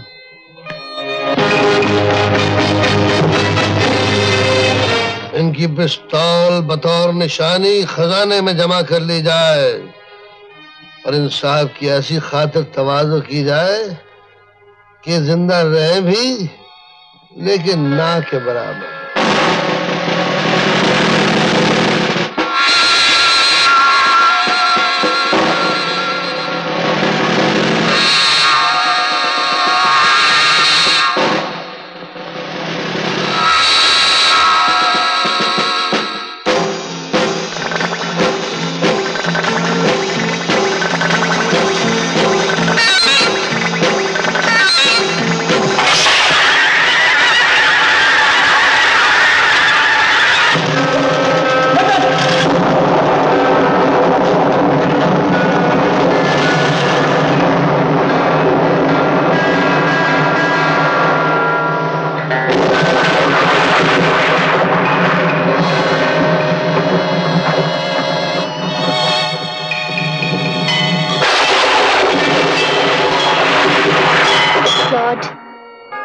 विश्वनाथ की ज़िंदगी बनाए रखना। वो जिस बदले की भावना में कूद पड़ा है, वो बहुत खतरनाक है। उस आग को शांति रखना, लॉर्ड। शांत! बहुत शांत बैठा है तू। किसी की दुनिया उजड़ गई और तू देखता रहा। दुनिया को जगाने वाले भगवान आज मैं तुझे जगाने आया हूँ। मैं तुमसे प्रॉमिस करती हूँ लॉर्ड अगर आज विश्वनाथ उन भेड़ियों से बच गया तो सोनी सिगरेट शराब सारी बुरी आदतें छोड़ देगी और एक नेक इंसान बन जाएगी। बहुत बुरा आदमी बनेगा विश्वनाथ। बहुत बुरा आदमी। मैं तेरी कसम खाकर कहता हूँ भगवान तेरी कसम। उसे मेरी ज़िंदगी से कभी मत छीनना मेरा सब कुछ छिन गया है। उन लोगों ने मेरी माँ को मुझसे छीन लिया है। मेरी माँ को। माँ? माँ? अब तो माँ। अब तो माँ। मोती मोती गो गेट इट मोती। लेके आओ मोती बॉल लेके आओ ये आशीर्वाद किसने दिया? आप? आपने क्रिकेट खेलना कब से शुरू किया? चलिए इसी बहाने मुलाकात तो हो गई लेकिन आप यहाँ? ये हमारे किसी फ्रेंड का बंगला है। आपको नौकरी मिली? जी नहीं। फ़िलहाल गुजारे के लिए कमिश्नर साहब और दो एक घरों के बच्चों को ट्यूशन पढ़ाता हूँ। आप कहाँ रहते हैं? एक लॉज में। सुख सागर नाम है उसका मगर दुखों से भरपूर। चलो यार बॉल क्या देने आए? घर में ही घुसा है। ये मेरा दोस्त है। मैं चलता हूँ। कौन था वो? हमारे ही तरह एक तकदीर का मारा। मुन्नी फिर वही बातें? अच्छा तुम्हारे भैया कहाँ गए? भैया ने कहा था कि आज एक बहुत बड़े बिज़नेस के लिए जा रहे हैं।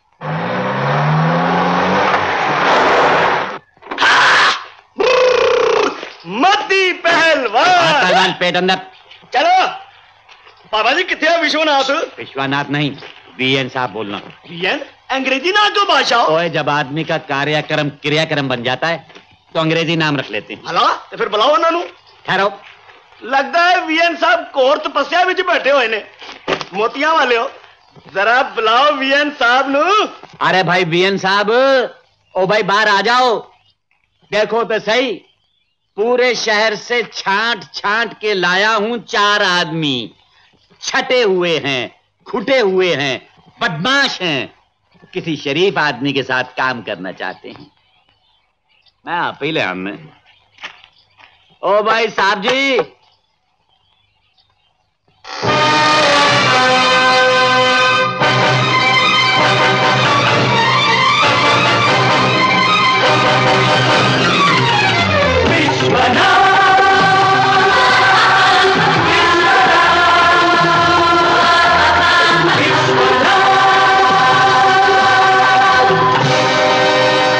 है जे नंबर एक।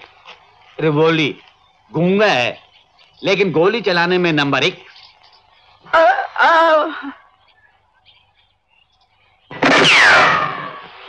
ले भाई अपने तो रात दे खाने का बंदोबस्त हो गया है। ऐ जे नंबर दो तालब। ताला तोड़न च मार। वो ताला चाहे जेल का हो चाहे बैंक का इनू कोई शर्म नहीं। ले भाई फड़।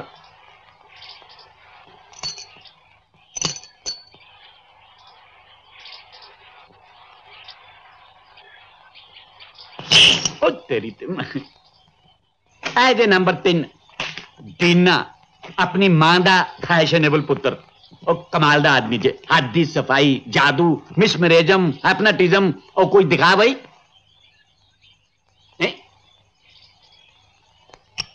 ओ तेरे सदके जाऊं बल्ले बल्ले बल्ले हाँ, देख लिया भाई हाँ। ए बाबूराव पलवान ओ दिमाग घट ते ताकत ज्यादा अलादीन दे चिराग दी छठी औलाद क्यों? सारे फिट ना? मेरे साथ काम करने की वजह मोतिया वाली सरकार जब तुम वकील थे तो आपने इन लोगों को सेठू के पंजों से बचाया था।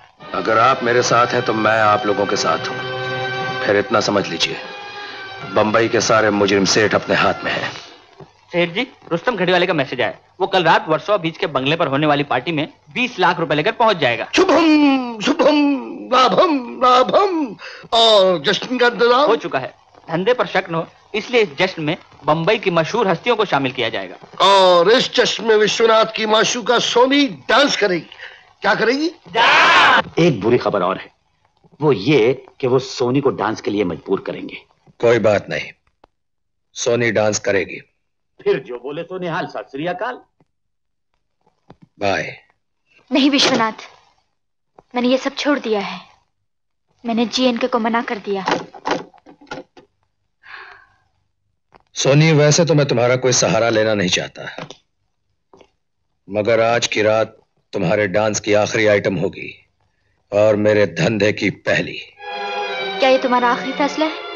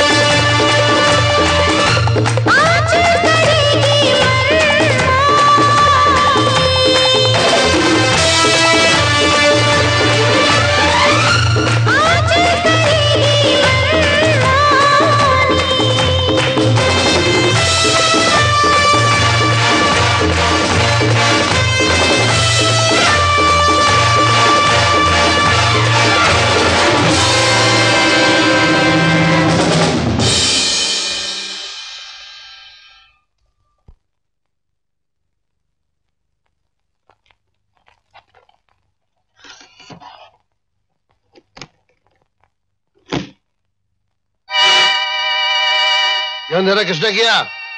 जिसकी ज़िंदगी में तुमने अंधेरा किया है। मेरा नाम विश्वनाथ है। वैसे अगर आप चाहें तो मुझे वीएन साहब कह सकते हैं। ओ, आपका कार्ड मुझे मिला। क्या चाहिए आपको? तुम्हारा सर्वनाश। शाबाश। आशीर्वाद लेने फिर कभी आऊँगा। फ़िलहाल उस बैग में रखा 20 लाख ब्लैक का रुपया मुझे चाहिए। अगर मैं नहीं दूँ तो? नो फाइट्स मैं तुम्हें गोली नहीं मारूँगा। मगर उस गोली चलाने वाले को मना भी नहीं करूँगा। इंपोर्टेड पिस्टल है। आवाज़ कम करती है। इज़्ज़त ज़्यादा उतारती है। दीना, बैग ले लो। क्यों अपनी शक्ति भंग कर रहे हैं? ये लीजिए और जाइए।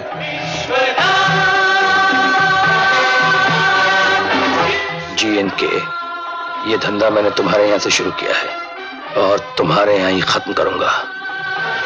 इसे मेरी बोहनी समझना। दुध गुड फॉर हेल्थ जान दे वेल्थ अरे हेल्थ इज़ है तो वेल्थ इज़ है। आपकी तारीफ़। Father go go Golconda. कर दिया आपने हमारा कुंडा। बीस लाख का एक ग्लास। कौन था सेठ जी? विश्वनाथ। आया था और चला गया। पकड़ो उसे। ठहरो। जाने दो। हमारा तो थोड़ा संभाल गया। लेकिन हिंदुस्तान का सबसे ईमानदार घमंडी आज वो मुजरिमों की लिस्ट में आ गया। इसलिए विजय उसकी नहीं हमारी हुई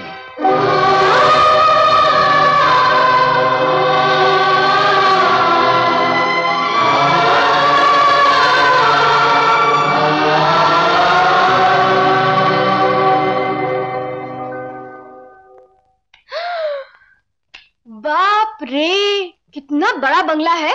भैया के मालिक तो बड़े दिल वाले हैं। हाँ मुन्नी, बहुत बड़ा दिल है उसका, बहुत बड़ा दिल। ज़िंदगी हम उससे मांगते रहे, उसने कुछ नहीं दिया। और जब हमने छीनना शुरू किया झपटना शुरू किया तो सब कुछ मिल गया मुन्नी। गाड़ियाँ बंगले ऐशो आराम की हर चीज़। आज क्या नहीं हमारे पास मुन्नी?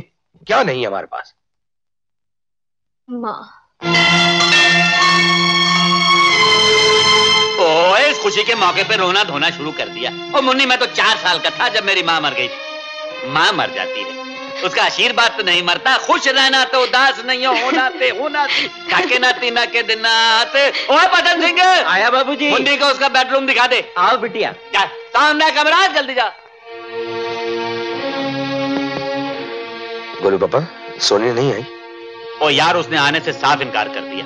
और मैं उन्हें बड़ा समझाया कि हमारी लड़ाई जीएन के और उसकी पार्टी के साथ है पर वो तो वकीलों की तरह बात करती है। और तुम्हें मुजरिम समझती है।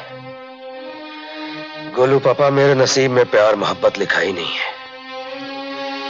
ये तो वक्त वक्त की बात है कि सोनी आज अच्छी बन गई और विश्वनाथ बुरा, बहुत बुरा।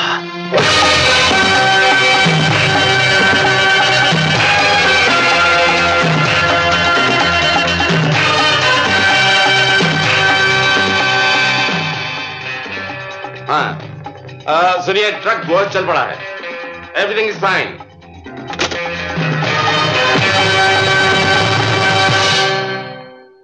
आइए आइए विश्वनाथ जी। भाई बड़ा गेटअप बदल लिया है। जी सेटअप भी बदल दिया है। मतलब? मतलब धंधा। कहिए धंधे में क्या मदद कर सकता हूँ आपकी? जी मुझे एक करोड़ रुपया चाहिए। एक करोड़? जी हाँ एक करोड़। वो भी कैश वो भी अभी। एक करोड़ में कितने ज़ीरो होते हैं? कागज़ पर लिखना आता तुम्हें? लिखना भी आता है और गिनना भी आता है। विश्वनाथ दाढ़ी बढ़ाने से कोई डाकू नहीं बन जाता। मेरी तरफ़ देखो पच्चीस साल से बगैर दाढ़ी के लोगों को लूट रहा हूँ। तो सुनिए ठीक 35 मिनट पहले आपका 9 करोड़ का स्मगलिंग का सोना गोवा से truck number M R T three six five zero पर रवाना हो चुका है करेक्ट? है करेक्ट। और ठीक ठिकाने पर पहुँच भी जाएगा। जी हाँ लेकिन रुकवाया भी जा सकता है। अगर इस वक्त मैं पुलिस को इतला दे दूँ तो नौ करोड़ का स्मगलिंग का माल पकड़वाने पर सरकार मुझे बतौर इनाम दस परसेंट के हिसाब से नब्बे लाख रुपए देगी और साथ में देशभक्त का सम्मान पत्र भी। विश्वनाथ तुम अकलमंद थे लेकिन हो नहीं। तुमने इतना भी ना सोचा कि पुखराज जैसा स्मगलर जब खाना भी खाता है तो थाली के नीचे भी पिस्तौल रखता है। सोचा। फिर भी खौफ न खाया? खाया थोड़ा खाया। इसलिए मैं अपने आदमियों से कहकर आया हूँ कि अगर पंद्रह मिनट के अंदर वापस न लौटू तो समझ लेना मैं नहीं रहा। और फिर तुम लोग पुलिस को पूरी इत्तला देकर नब्बे लाख रुपए का इनाम आपस में बांट लेना। मेरी मौत होगी। उन्हें नब्बे लाख का फ़ायदा होगा। तुम्हें नौ करोड़ का नुकसान साथ में खून का इल्ज़ाम। हेलो? हेलो? आप विश्वनाथ जी आप ज़िंदा हैं या मर गए? मेरा मतलब है माल मिला या गोली? लाइए मेरा टेलीफोन है। पापे सेठ अभी कुछ सोच रहा है। दस मिनट बाद फिर पता कर लेना। नहीं तो नब्बे लाख तुम लोगों का है ही। सतनाम श्री वाहिगुरु। मान गए विश्वनाथ तुम्हारे दिमाग को। लाइए वक्त कम है। मिल जाएगा। भरोसा रखो। तिजोरी की चाबी मेरी बीवी के पास है और इस वक्त वो घर पर नहीं है। खैर इसका भी बंदोबस्त है मेरे पास। Talib.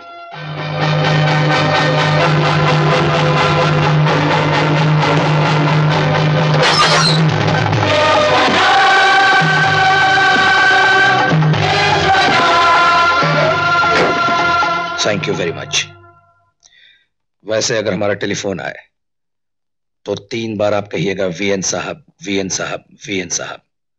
वह समझ जाएगा कि मैं माल लेकर चला गया। ये हमारा कोड वर्ड है। गुड नाइट हेलो वीएन साहब वीएन साहब वीएन साहब।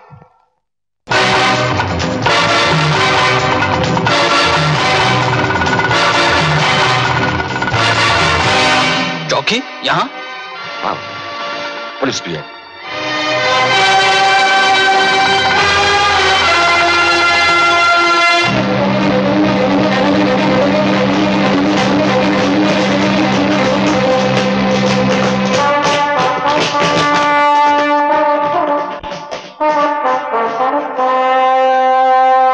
सतनाम श्री वाहिगुरु नस गए।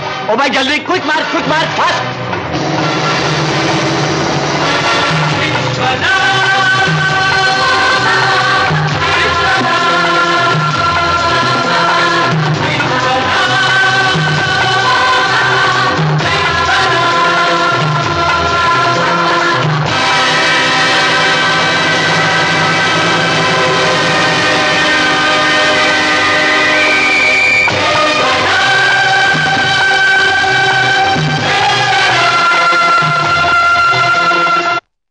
ओ भाई ये है असली सोने की मूर्ति। उन चोरों ने चुराई थी और अब मोरों के घर में आ पहुँची। ठीक है ये रहा इसका दाम। पूरा बीस लाख रुपया है सोना वाला फ़िलहाल ये बीस लाख आप अपने पास रखो। जब ज़रूरत पड़ेगी मंगवा लूँगा। कसम खुदा का हमको तुम्हारे जैसा एतबार वाला आदमी मांगते। वो जीएन की जैसा बेईमान पार्टी बिल्कुल नहीं मांगते।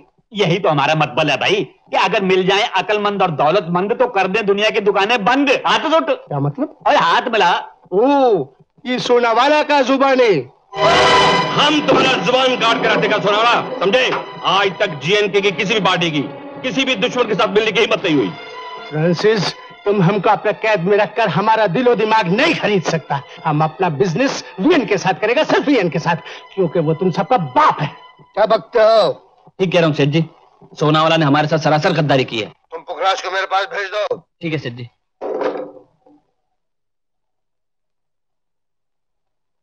What is this bloody nonsense going on here? Nonsense Golu गुआ। सेठ जी हमारे पंजाब में हर खास मौके पर हर खास आदमी के आने के स्वागत में दरवाजे पर तेल डालते हैं। इसको कहते हैं तेल चोना। क्या संदेशा लाया है बड़ा आदमी? सेठ जी मेरे घर में एक अलमारी है। उस अलमारी में एक बंदूक है और उस बंदूक में एक गोली है और उस गोली पर एक नाम लिखा हुआ है जी एन के अब मैं सोचता हूँ कि उस अलमारी को क्यों खोलूं? आप शरीफ आदमी हैं चुपचाप मुझे बता देंगे कि इस वक्त सोना वाला कहाँ है। बरखुदार लाए भाई। आ गए। बोलो गवाह। बंदूक जैसी नाजुक वस्तु अलमारी में रखने के लिए नहीं होती। जेब में से निकालकर सीने पर तान देने के लिए होती है। बाजी ले गए आप। हम हैं तुम्हारे बाप। बाप नहीं माई के बाप। तुम हमको धमकाता है? नहीं सेठ हम तो तुमको समझाता है। अब बताओ कौन है किसका बाप? हम? हैं? था? है? और रहेगा। क्योंकि हम हर दिवाली को बच्चों लोग को पटाखे वाली पिस्तौल देता है ये भी वही है। चला के देखो चला के देखो। ये इनके किसी को फंसाता नहीं। दुश्मन खुद ब खुद फंस जाता है। रंगो इनका स्वागत करो। जी अच्छे सेठ गोलू गवा किसी को गिराता नहीं दुश्मन खुद ब खुद गिर पड़ता है देख ले!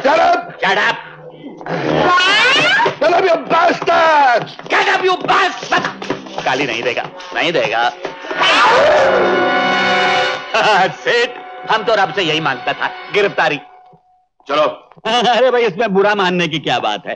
कौरव और पांडव में तो हमेशा ही लड़ाई होती रही है और हमेशा ही होती रहेगी। लेकिन कौरव जो थे, वो जरा कमज़ोर थे और पांडव जो थे, वो जरा ताकतवर थे। इसलिए पांडव जो थे, वो आगे बढ़ते रहे और कौरव जो थे, वो कम होते रहे। पांडव जो थे, वो आगे बढ़ते रहे। कौरव जो थे, वो कम होते रहे। इस तरह एक एक करके सारे कौरव खत्म हो गए। खाली दुर्योधन रह गया। अब जो रह गया तो रह गया। उसमें मैं क्या करूँ?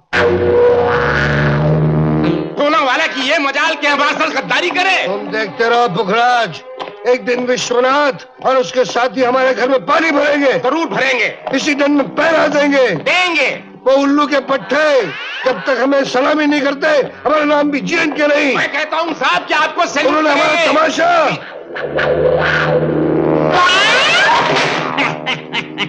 जी एन के तुम्हारा है तमाशा हमारा है तमाचा फ़र्क देखिए। ही अचाला सुना वाला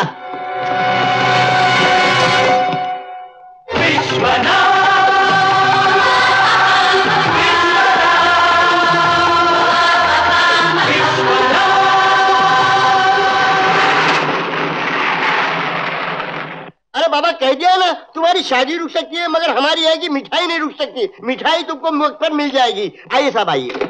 हमें पहचाना। राम बराम शायद कहीं देखा है। जी एन के सेठ का नाम सुना है। जिनके से अरे सारा शहर राम बलराम उन्हीं का है। हम उनके सेक्रेटरी हैं। धन्यवाद। भाग्य तो तुम्हारे खुल गए लाला। जी एन के सेठ के पिताजी का श्राद्ध है थोड़े से लड्डू चाहिए। हुक्म कीजिए कितने चाहिए? यही कोई तीन लाख। तीन लाख? पागल हो गया है। राम बलराम सारे फैक्ट्रियों को ऑर्डर दे दूँगा। खुद ही गिन लीजिए हुजूर। पूरे तीन लाख लड्डू हैं। क्या कहा आपने? मैंने नहीं कहा था हुजूर। उसने कहा था कि ये लड्डू आपके घर किसी सूरत पहुँच ही जाने चाहिए। ठीक से कहो क्या कहा उसने? ओहो मेरे राम बलराम मैं तो ठीक ही कह रहा हूँ हुजूर कि ये लड्डू खालिस घी के आपके पिताजी के शराब के लिए बनाए गए हैं। क्या बनता है जानता नहीं सेठ जी के पिताजी अभी ज़िंदा है अपने गाँव में?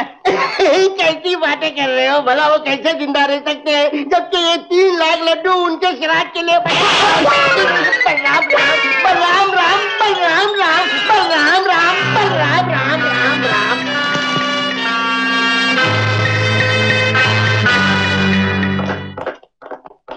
एक्सक्यूज मी आपका नाम सोनी है? जी। मैं आप के घर से आ रही हूँ। मेरा नाम लिली है। मुझे गोलू गवा ने भेजा है। विश्वनाथ को जीएन के आदमी ने बहुत मारा है। क्या? जी हाँ वो हमारे वर्सोवा शैक में बेहोश पड़ा है। प्लीज़ जल्दी चलिए। जल्दी। एक मिनट आप यहाँ ठहरिए मैं भी आई। और सुनिए। विश्वनाथ कहाँ है? जरा इंतज़ार तो कीजिए।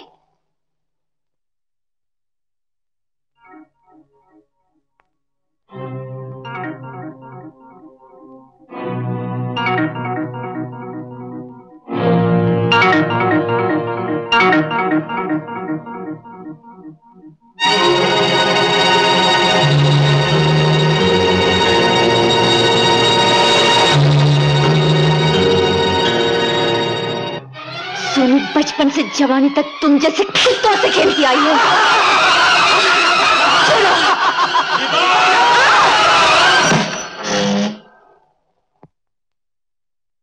आज करेगी मन मानी। और सानू भी दसो केड़ा डांस है। मलंग, आप अपे कर दे, बाहर से दरवाज़ा बंद।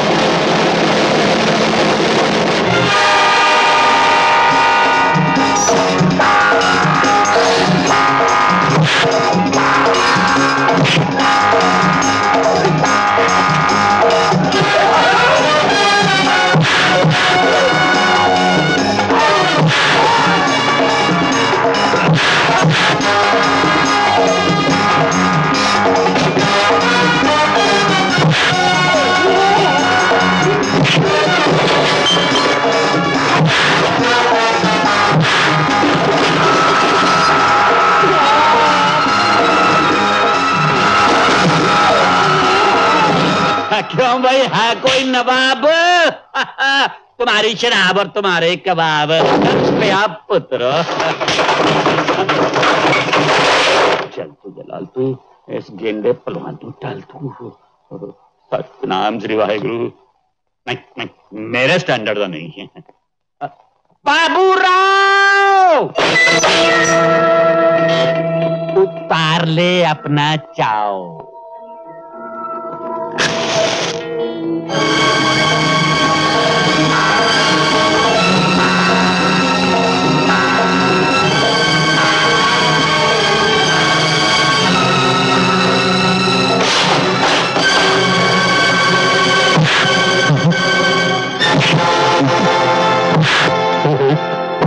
ਆ,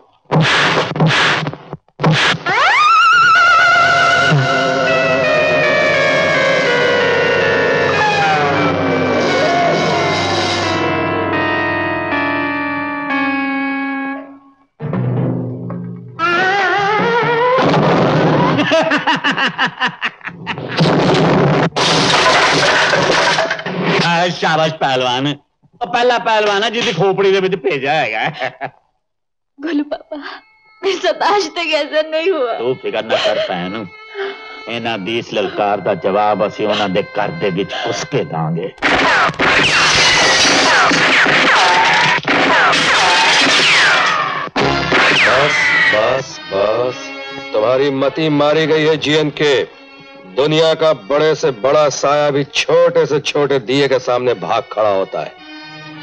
और फिर तुम तो बिजली से टकराने की बातें कर रहे हो। विश्वनाथ और बिजली?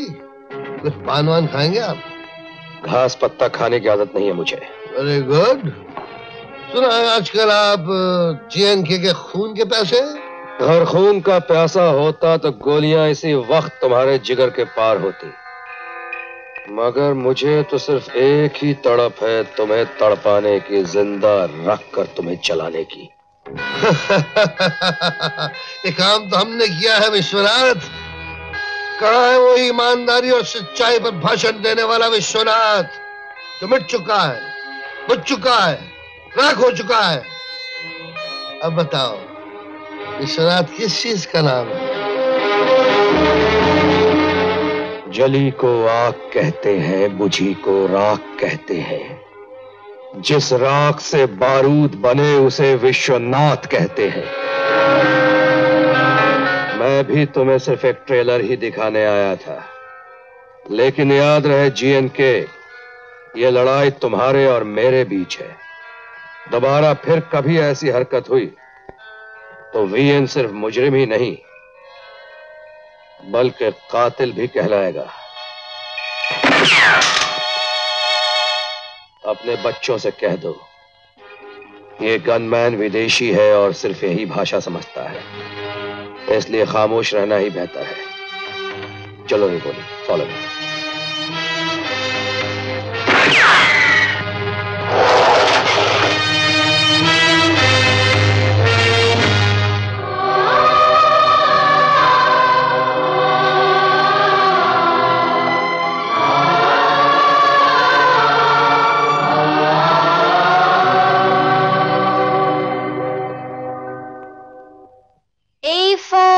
apple, B for bat, and बच्चों आज की क्लास खत्म। रोजी मैं जरा चर्च जा रही हूँ तुम जरा बच्चों को संभालना। सोनी क्या बात है? आजकल आप रोज चर्च जाने लगी है? किसी के गुनाहों की माफ़ी मांगने। सोनी मैं ये कहने आया था कि मुन्नी अब अस्पताल से घर आ गई है। मुझे मालूम है। सोनी अब वो दोनों पैरों पर चल सकती है। जो चल नहीं सकते थे वो चलने लगे हैं। और जो चल सकते थे डगमगाकर गिरने लगे हैं। ये तो वक्त बताएगा। वक्त किसका? एक मुजरिम का? वीएन साहब एक मुजरिम का वक्त अच्छा हो सकता है लेकिन उसका अंत नहीं। और उस वक्त तक सोनी आपसे बहुत दूर जा चुकी होगी। बाय। माँ? सोनी ने जो कहा, क्या ठीक कहा? कि मैं मुजरिम बन गया हूँ? मेरे पाँव डगमगाने लगे? नहीं माने। तुम्हारा बेटा विश्वनाथ कभी मुजरिम नहीं बन सकता है।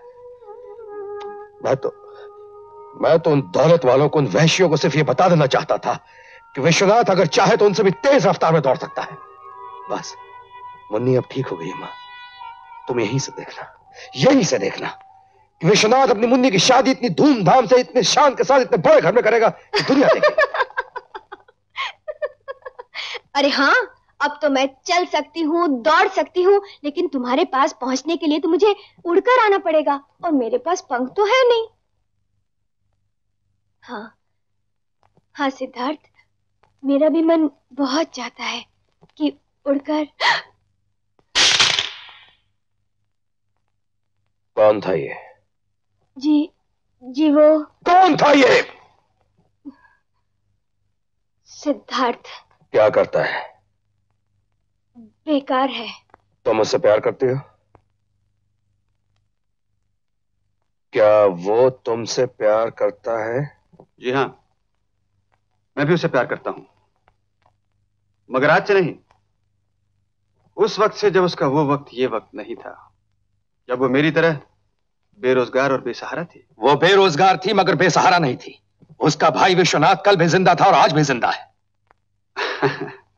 देखिए ना आज के विश्वनाथ को मैं अपनी कुर्सी पे बैठने के लिए भी नहीं कह सकता। मेरी कुर्सी पे बहुत धूल जमी है साहब। फिर भी तुम ख्वाब देखते हो उन मखमली सोफों के। उस लड़की के जिसके एक इशारे पर लाखों करोड़ों की ज़मीन जायदाद कारें बंगले हासिल की जा सकती हैं। उसकी हैसियत आपके महँगे सूट से महँगे इतर की खुशबू आ रही है। मगर उसके अंदर छुपे आदमी से पैसे की बदबू आ रही है विश्वनाथ साहब। मेरी हैसियत मेरी हैसियत का अंदाज़ा आप मेरे कपड़ों और मेरी झोपड़ी से लगाते हैं। तो फिर मैं आपकी हैसियत भी समझ गया। और ऐसी हैसियत वाला से मैं बात तक नहीं करना चाहता।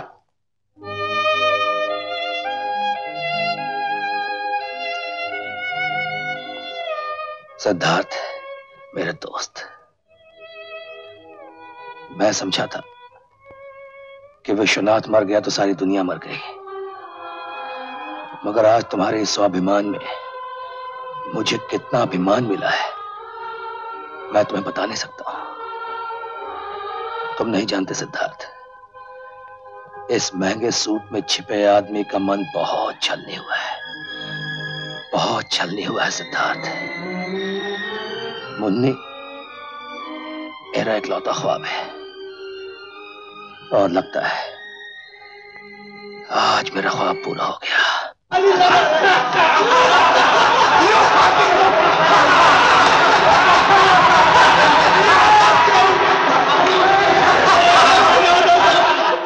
हेलो मुन्नी। अरे भाई वो जेवर वाले देवराज आया नहीं?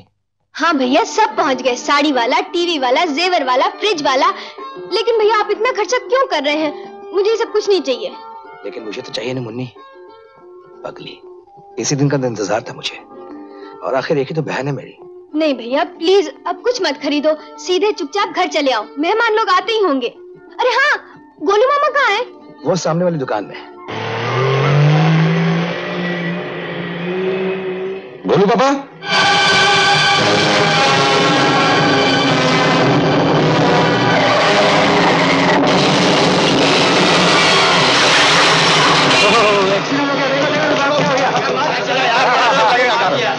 आँखों अरे साले ट्रक वाले ने मारा यार क्या हुआ? गोलू पापा। हाँ। मेरी आँखें जल रही चलो सामने वाले डॉक्टर को दिखा दें। चलो उठाओ।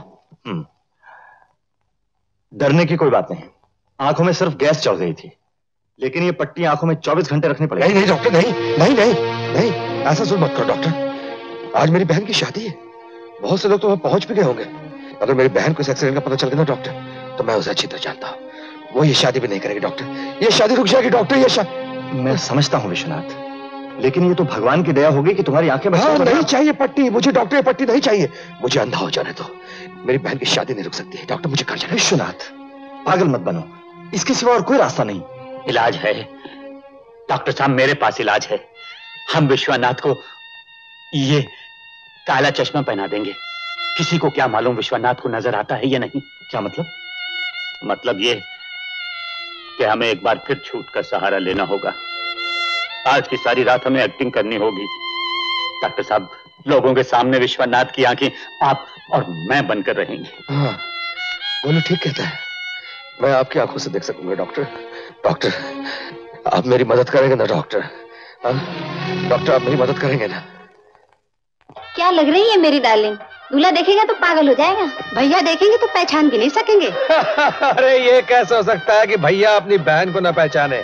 भले ही बहन दस रूप क्यों न बदल ले? क्यों गोलू बाबा? अरे भाई ये कोई फ़िल्मों में कुंभ के मेले में भाई बहन थोड़ा ही बिछड़ गए हैं कि आज से बीस साल पहले सेठ जान ये क्या बात है? सब लोग आ गए और आप दोनों ने इतनी देर लगा दी। मुन्नी। ओए, ओए, ओए, ओए। मुन्नी हमें भी तो सजना संवरना पड़ता है ना? वो कम्बक टेलर ने सूट सिलकर ही नहीं दिया मुझे। हम क्या करते और वैसे तुम कौन सी सज संवर अरे अरे मुन्नी क्या सजी हुई है विश्वनाथ? देख तो सही कितनी सोनी लग रही है अपनी शादी की लाल साड़ी में। अरे लाल साड़ी में नहीं तो क्या हरी साड़ी में लगे गोलू पापा कमाल करता है तू भी। और ये साड़ी आखिर अपनी बहन को दी किसने है? मैंने। लेकिन भैया आपने इतना भद्दा सा काला चश्मा क्यों लगा रखा है? इसलिए इस, इस, इसलिए कि मेरी बहन को नज़र न लग जाए ना। ठीक है तो कहते हैं भैया यही दिन देखने के लिए तो भाई की आँखें तरसती हैं। ओ भाई आप क्या सारी रात यहीं बैठे रहोगे? बाहर चलकर भी मामला फिट करना चल विश्वनाथ चल तू मेरे नाल चल चल बात करके बात कर एक गवा हाँ। एक बात बताओ। कुछ ये सब सजावट कैसी है? अरे ऐसी सजावट तो राजे महाराजाओं के कर भी नहीं हो सकती। अरे तू देखता तो मज़ा आ जाता मैं तुझे सुनाता हूँ। नहीं नहीं नहीं नहीं रहने दे। सुनूँगा तो और भी ज़्यादा दुख होगा क्योंकि देख नहीं सकता ना। शहर में आँखों की बीमारी फैली हुई है ना? जी हाँ विश्वनाथ की आँखें भी आ गई। मैंने उसे काला चश्मा पहनने को कहा। हाँ भाई अपना सिद्धार्थ क्या जच रहा है? अरे वाह वाह सिद्धार्थ वाह। आपकी आँखों का चक्कर ये वो मैंने इन्हें सब बता दिया है। हाँ भाई वो आँखों के चक्कर में किसी की टक्कर में गिर पड़े और उनका घुटना टूट गया इसीलिए हाथ में बुढ़े की तरह स्टिक भी पकड़ लिए सिद्धार्थ। क्या बात कर रहे हैं भाई साहब? बड़ा भाई पिता के समान होता अब बेटा हुआ तो फिर मोटा हो गया हो गया ना। गलत बात बिल्कुल गलत बात हाँ हाँ हाँ। सिद्धार्थ भाई साहब मेरे भाई मेरे दोस्त। ए भाई भगवान तुम्हारी हर तमन्ना हर ख्वाब पूरा करे।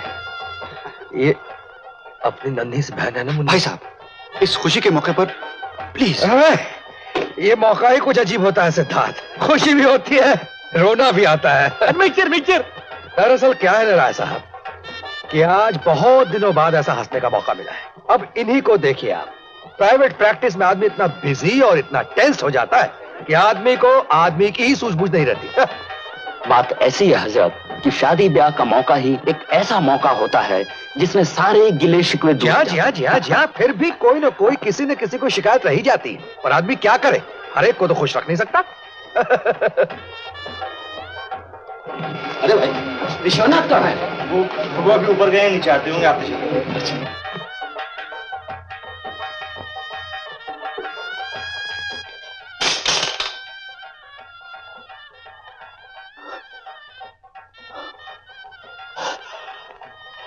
कौन है?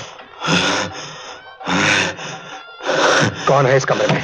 Once in a blue moon कभी कभी खोखा आँखें चली गई दौलत आ जाएगी और जान फिर कभी नहीं खोखा नहीं। ये सब मेरी बहन का है खोखा आज उसकी शादी है ना?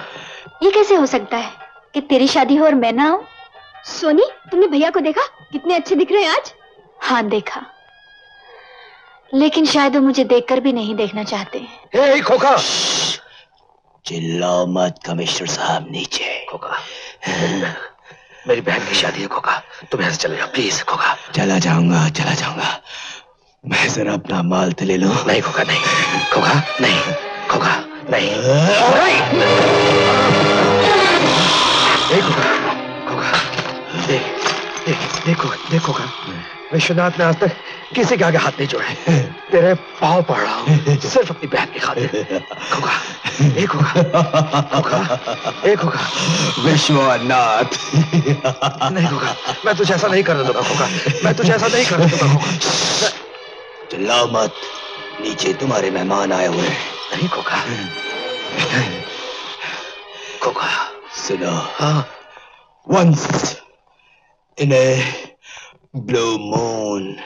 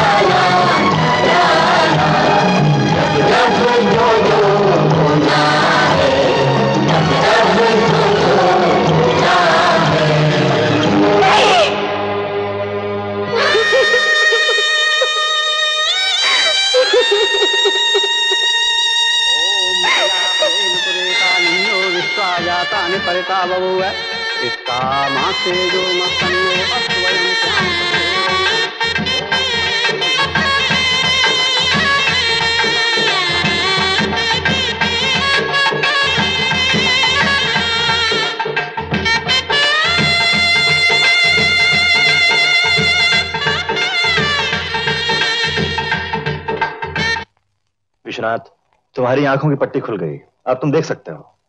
हाँ डॉक्टर। अब मैं देख सकता हूँ। कानून भी मुझे उतनी सजा न दे सकेगा जितनी कुदरत ने मुझे दी। मैं अपनी बहन की शादी भी नहीं देख सका डॉक्टर। हम्म, अब विश्वनाथ तुम्हें एक बात का ध्यान रखना है। कम से कम तीन चार दिन तुम्हारी आँखों में तेज रोशनी नहीं पड़नी चाहिए वरना आँखों को खतरा फिर हो सकता है। खतरा?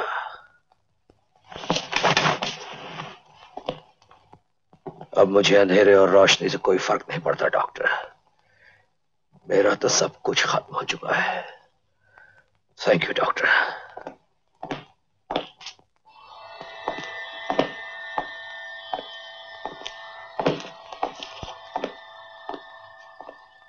चाबी ला।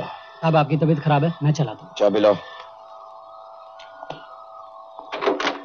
विश्वनाथ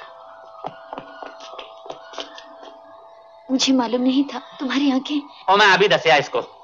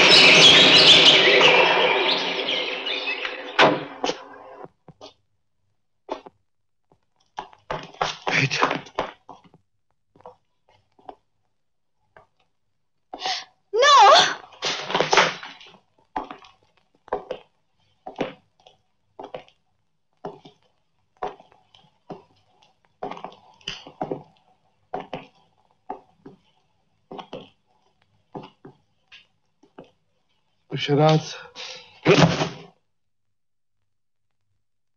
जी एन के तूने अपने हाथों कभी किसी का खून किया है नहीं नहीं मैंने भी नहीं किया है लेकिन आज करूँगा वो भी एक नहीं दो एक तेरा एक खोखा का खोखा फैसला तेरे हाथ में जीन के। पहले तेरा कत्ल करूँ। या खोखा का। नहीं नहीं नहीं नहीं, नहीं। खोखा कहाँ है जीन के? मालूम नहीं। बता दे जीन के खोखा कहाँ है? मालूम नहीं। कहाँ है खोखा? खोखा यहाँ है। विश्वनाथ सेठ जी के गले में बंधन डालने से क्या फ़ायदा? दूसरों की जान लेने से पहले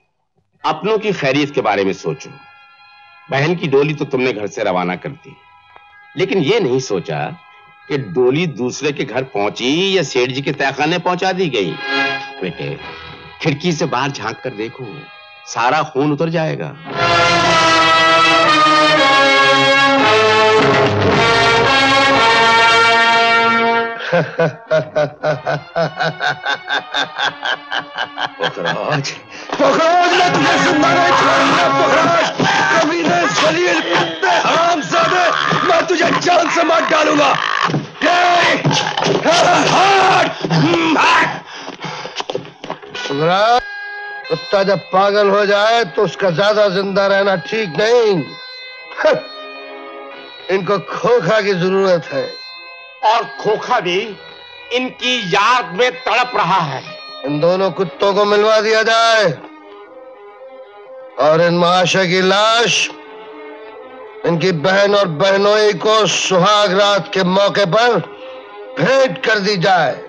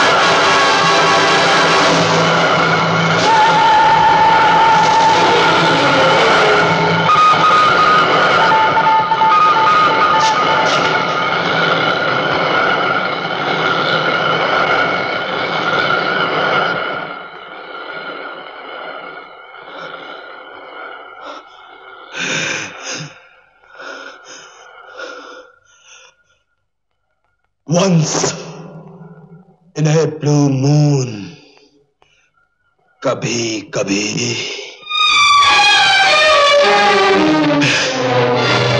खोका का पंजा आखिरी कत्ल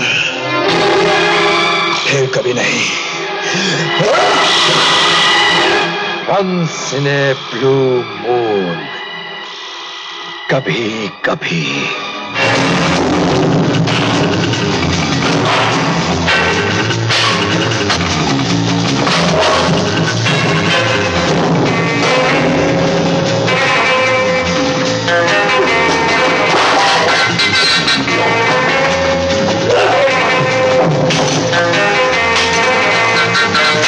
विश्वनाथ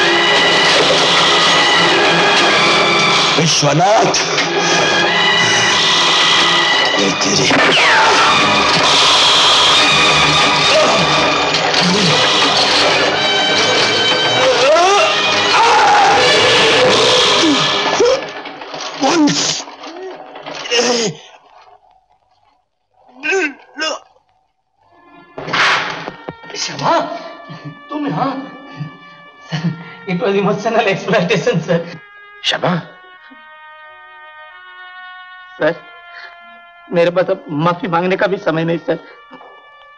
ये सब मेरी वजह से हुआ। हाँ। लेकिन अब आप मुन, मुन्नी बहन का ख्याल कीजिए सर। कहा है। वो वो, वो साम, सामने वाले दर, दर, दरवाजे।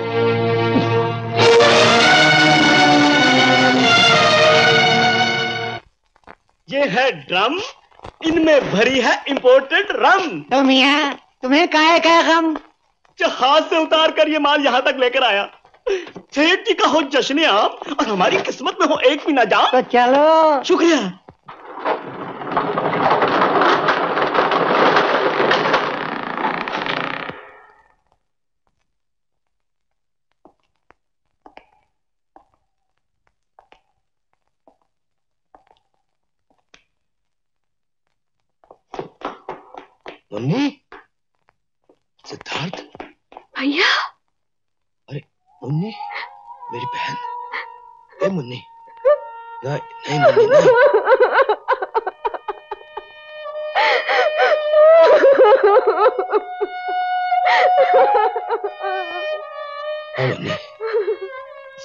नफरत का हकदार सिर्फ़ एक आदमी है।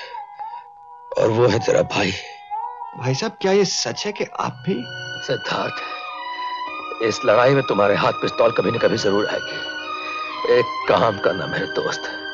सच्चे दोस्त की हैसियत से पहली गोली मेरे सीने में दाग देना। क्योंकि इससे ज़्यादा भयानक अंजाम मेरी आँखें नहीं देख सकती हैं सिद्धार्थ नहीं। अंजाम बाकी है अभी। धोखा के मर जाने से जीएनके की हस्ती खत्म नहीं हो जाती विश्वनाथ? यह हमारी हस्ती का नमूना।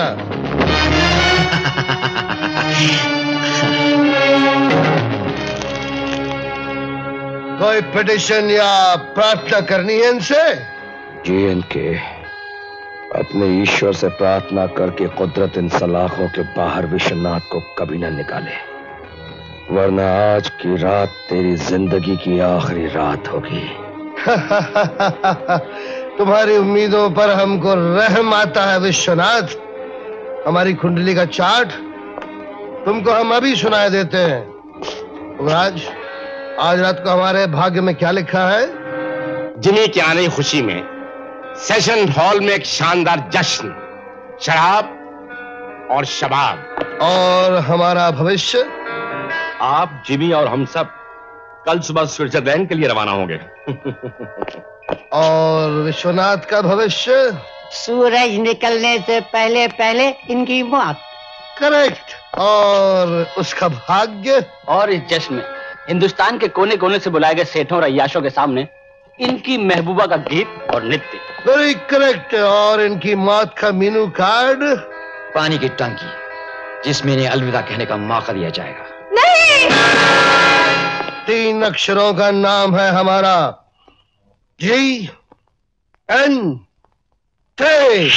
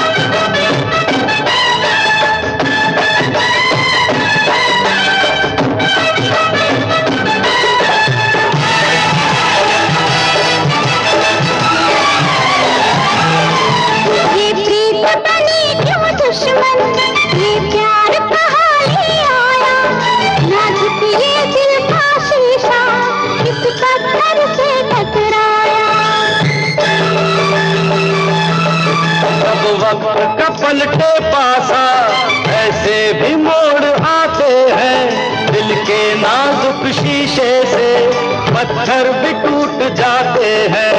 अरे वक्त प्यार के दुश्मन को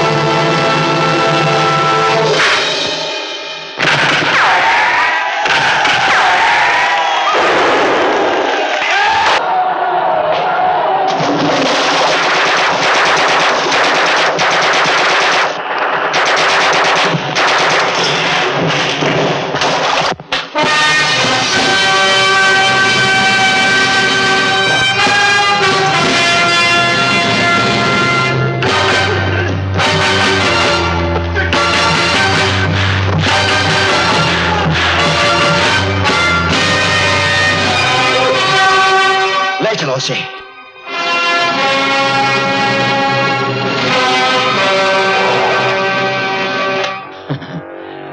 वकील बाबू, तुमने अभी तक जमी के हाथ नहीं देखे।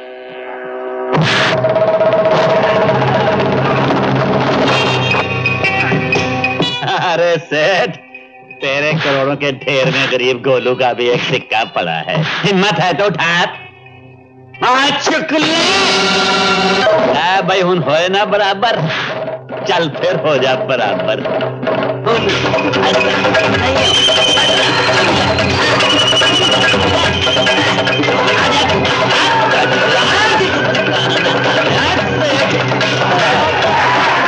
हुन असां नहीं रोना।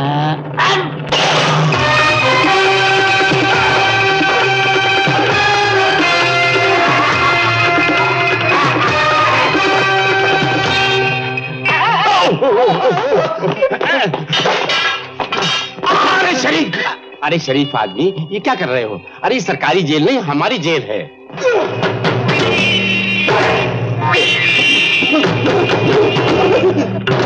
पंजाब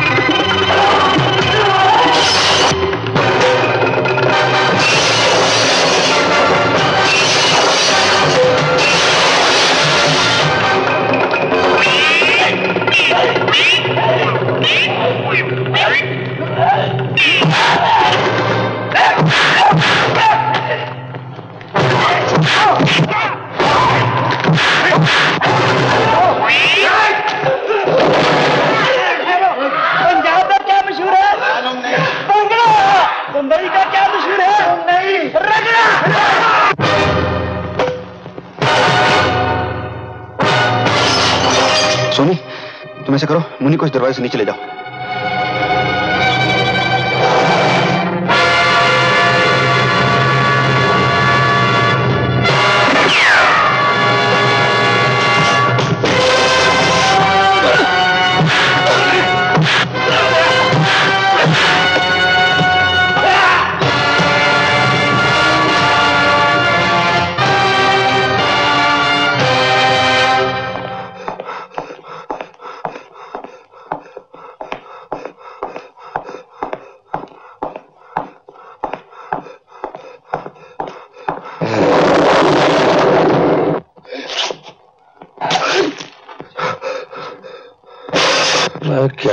जियन के तेरा भाग्य भी विश्वनाथ तेरा भविष्य भी विश्वनाथ।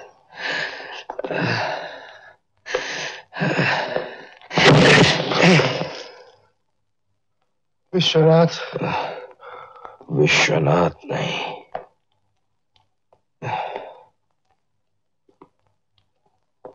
वी। बोलो वी। बोलो ना। वी बोलो।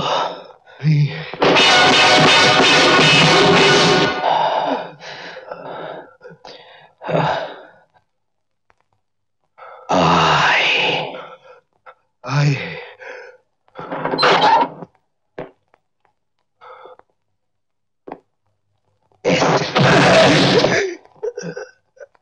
S.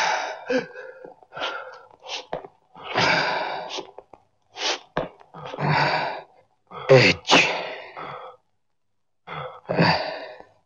H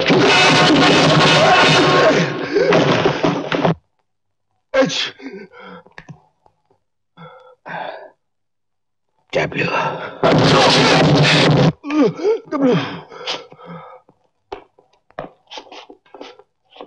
A A A N A T H Nath Vishwanath Vishwanath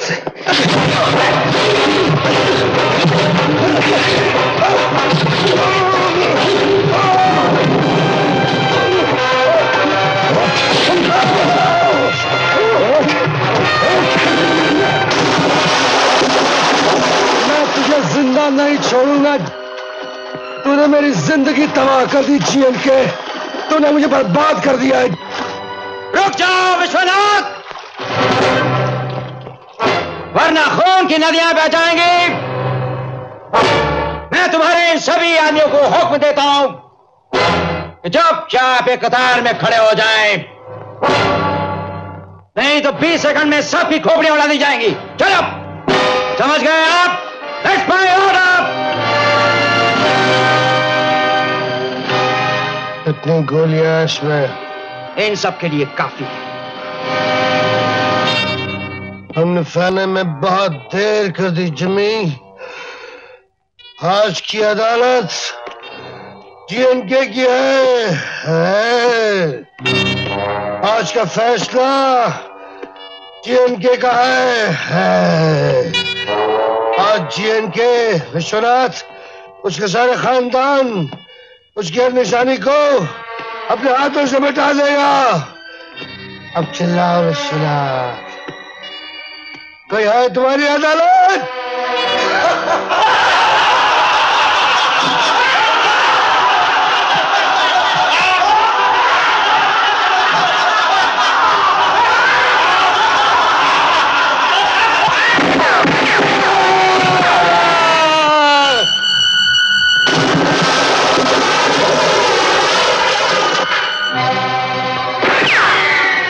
आप लोग जहाँ हैं, जैसे हैं, वैसे ही खड़े रहिए। यह खून मैंने किया है, कमिश्नर साहब। ये कत्ल गोलू गवाह ने किया है, गोलू गवाह ने। लिख लीजिए मेरा बयान, ताकि आपकी अदालत मुझे फांसी की सजा दे। और फिर मैं उस रब के पास पहुंचकर उसकी अदालत से पूछूँ क्या विश्वनाथ जैसे सच्चे हीरे उनके जुल्मों की आग में जलकर इसी तरह काले पत्थर बनते रहेंगे? अगर यही होगा तो तू भी सुन ले रब जी तू भी सुन ले कि तेरी बनाई इस दुनिया में इसी तरह तेरे पानी का रंग लाल होता रहेगा, खून खराबा होता रहेगा, क्रांति का शोर चारों तरफ़ उठता रहेगा। इंसान इंसान को एक पल के लिए भी चैन से जीने का मौका नहीं देगा, और फिर फिर तू खुद ही सोच ले रब जी कि तेरी दुनिया में ना इंसान रहेगा और ना भगवान। फिर कैसी होगी तेरी अदालत? फिर भी कमिश्नर साहब, कोलू गवाह इस दुनिया में, उस दुनिया में, हर अदालत में, हर जगह एक ही बयान देगा कि मेरे देश के हर घर में अगर बेटा हो तो विश्वनाथ जैसा। और इस बार गोलू गवाह जो कुछ कहेगा, सच कहेगा, और सच के सिवा और कुछ नहीं।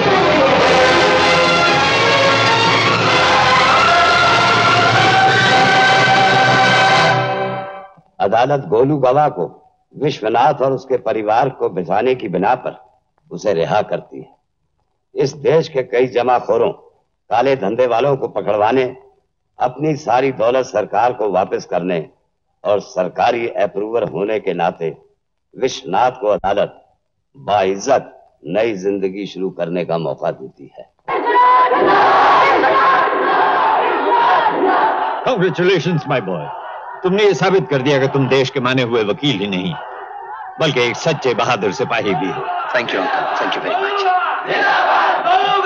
much वो देखो झूठों का सरदार आ रहा है। तू है हीरा या के कांच प्रभु आप लेकर जाँच। कभी सांच को तो आज नहीं आए रे। कभी सांच को तो आज नहीं आए रे। बोल सच्चा सच्चा झूठ रख हौसला अटूट। सच्चे आदमी से झूठा हार खाए रे। सच्चे आदमी से झूठा हार खाए रे। दिल के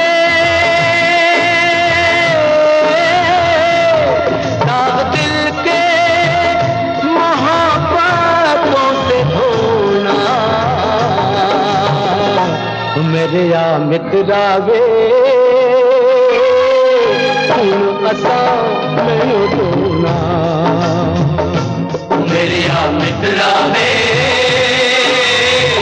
तू असा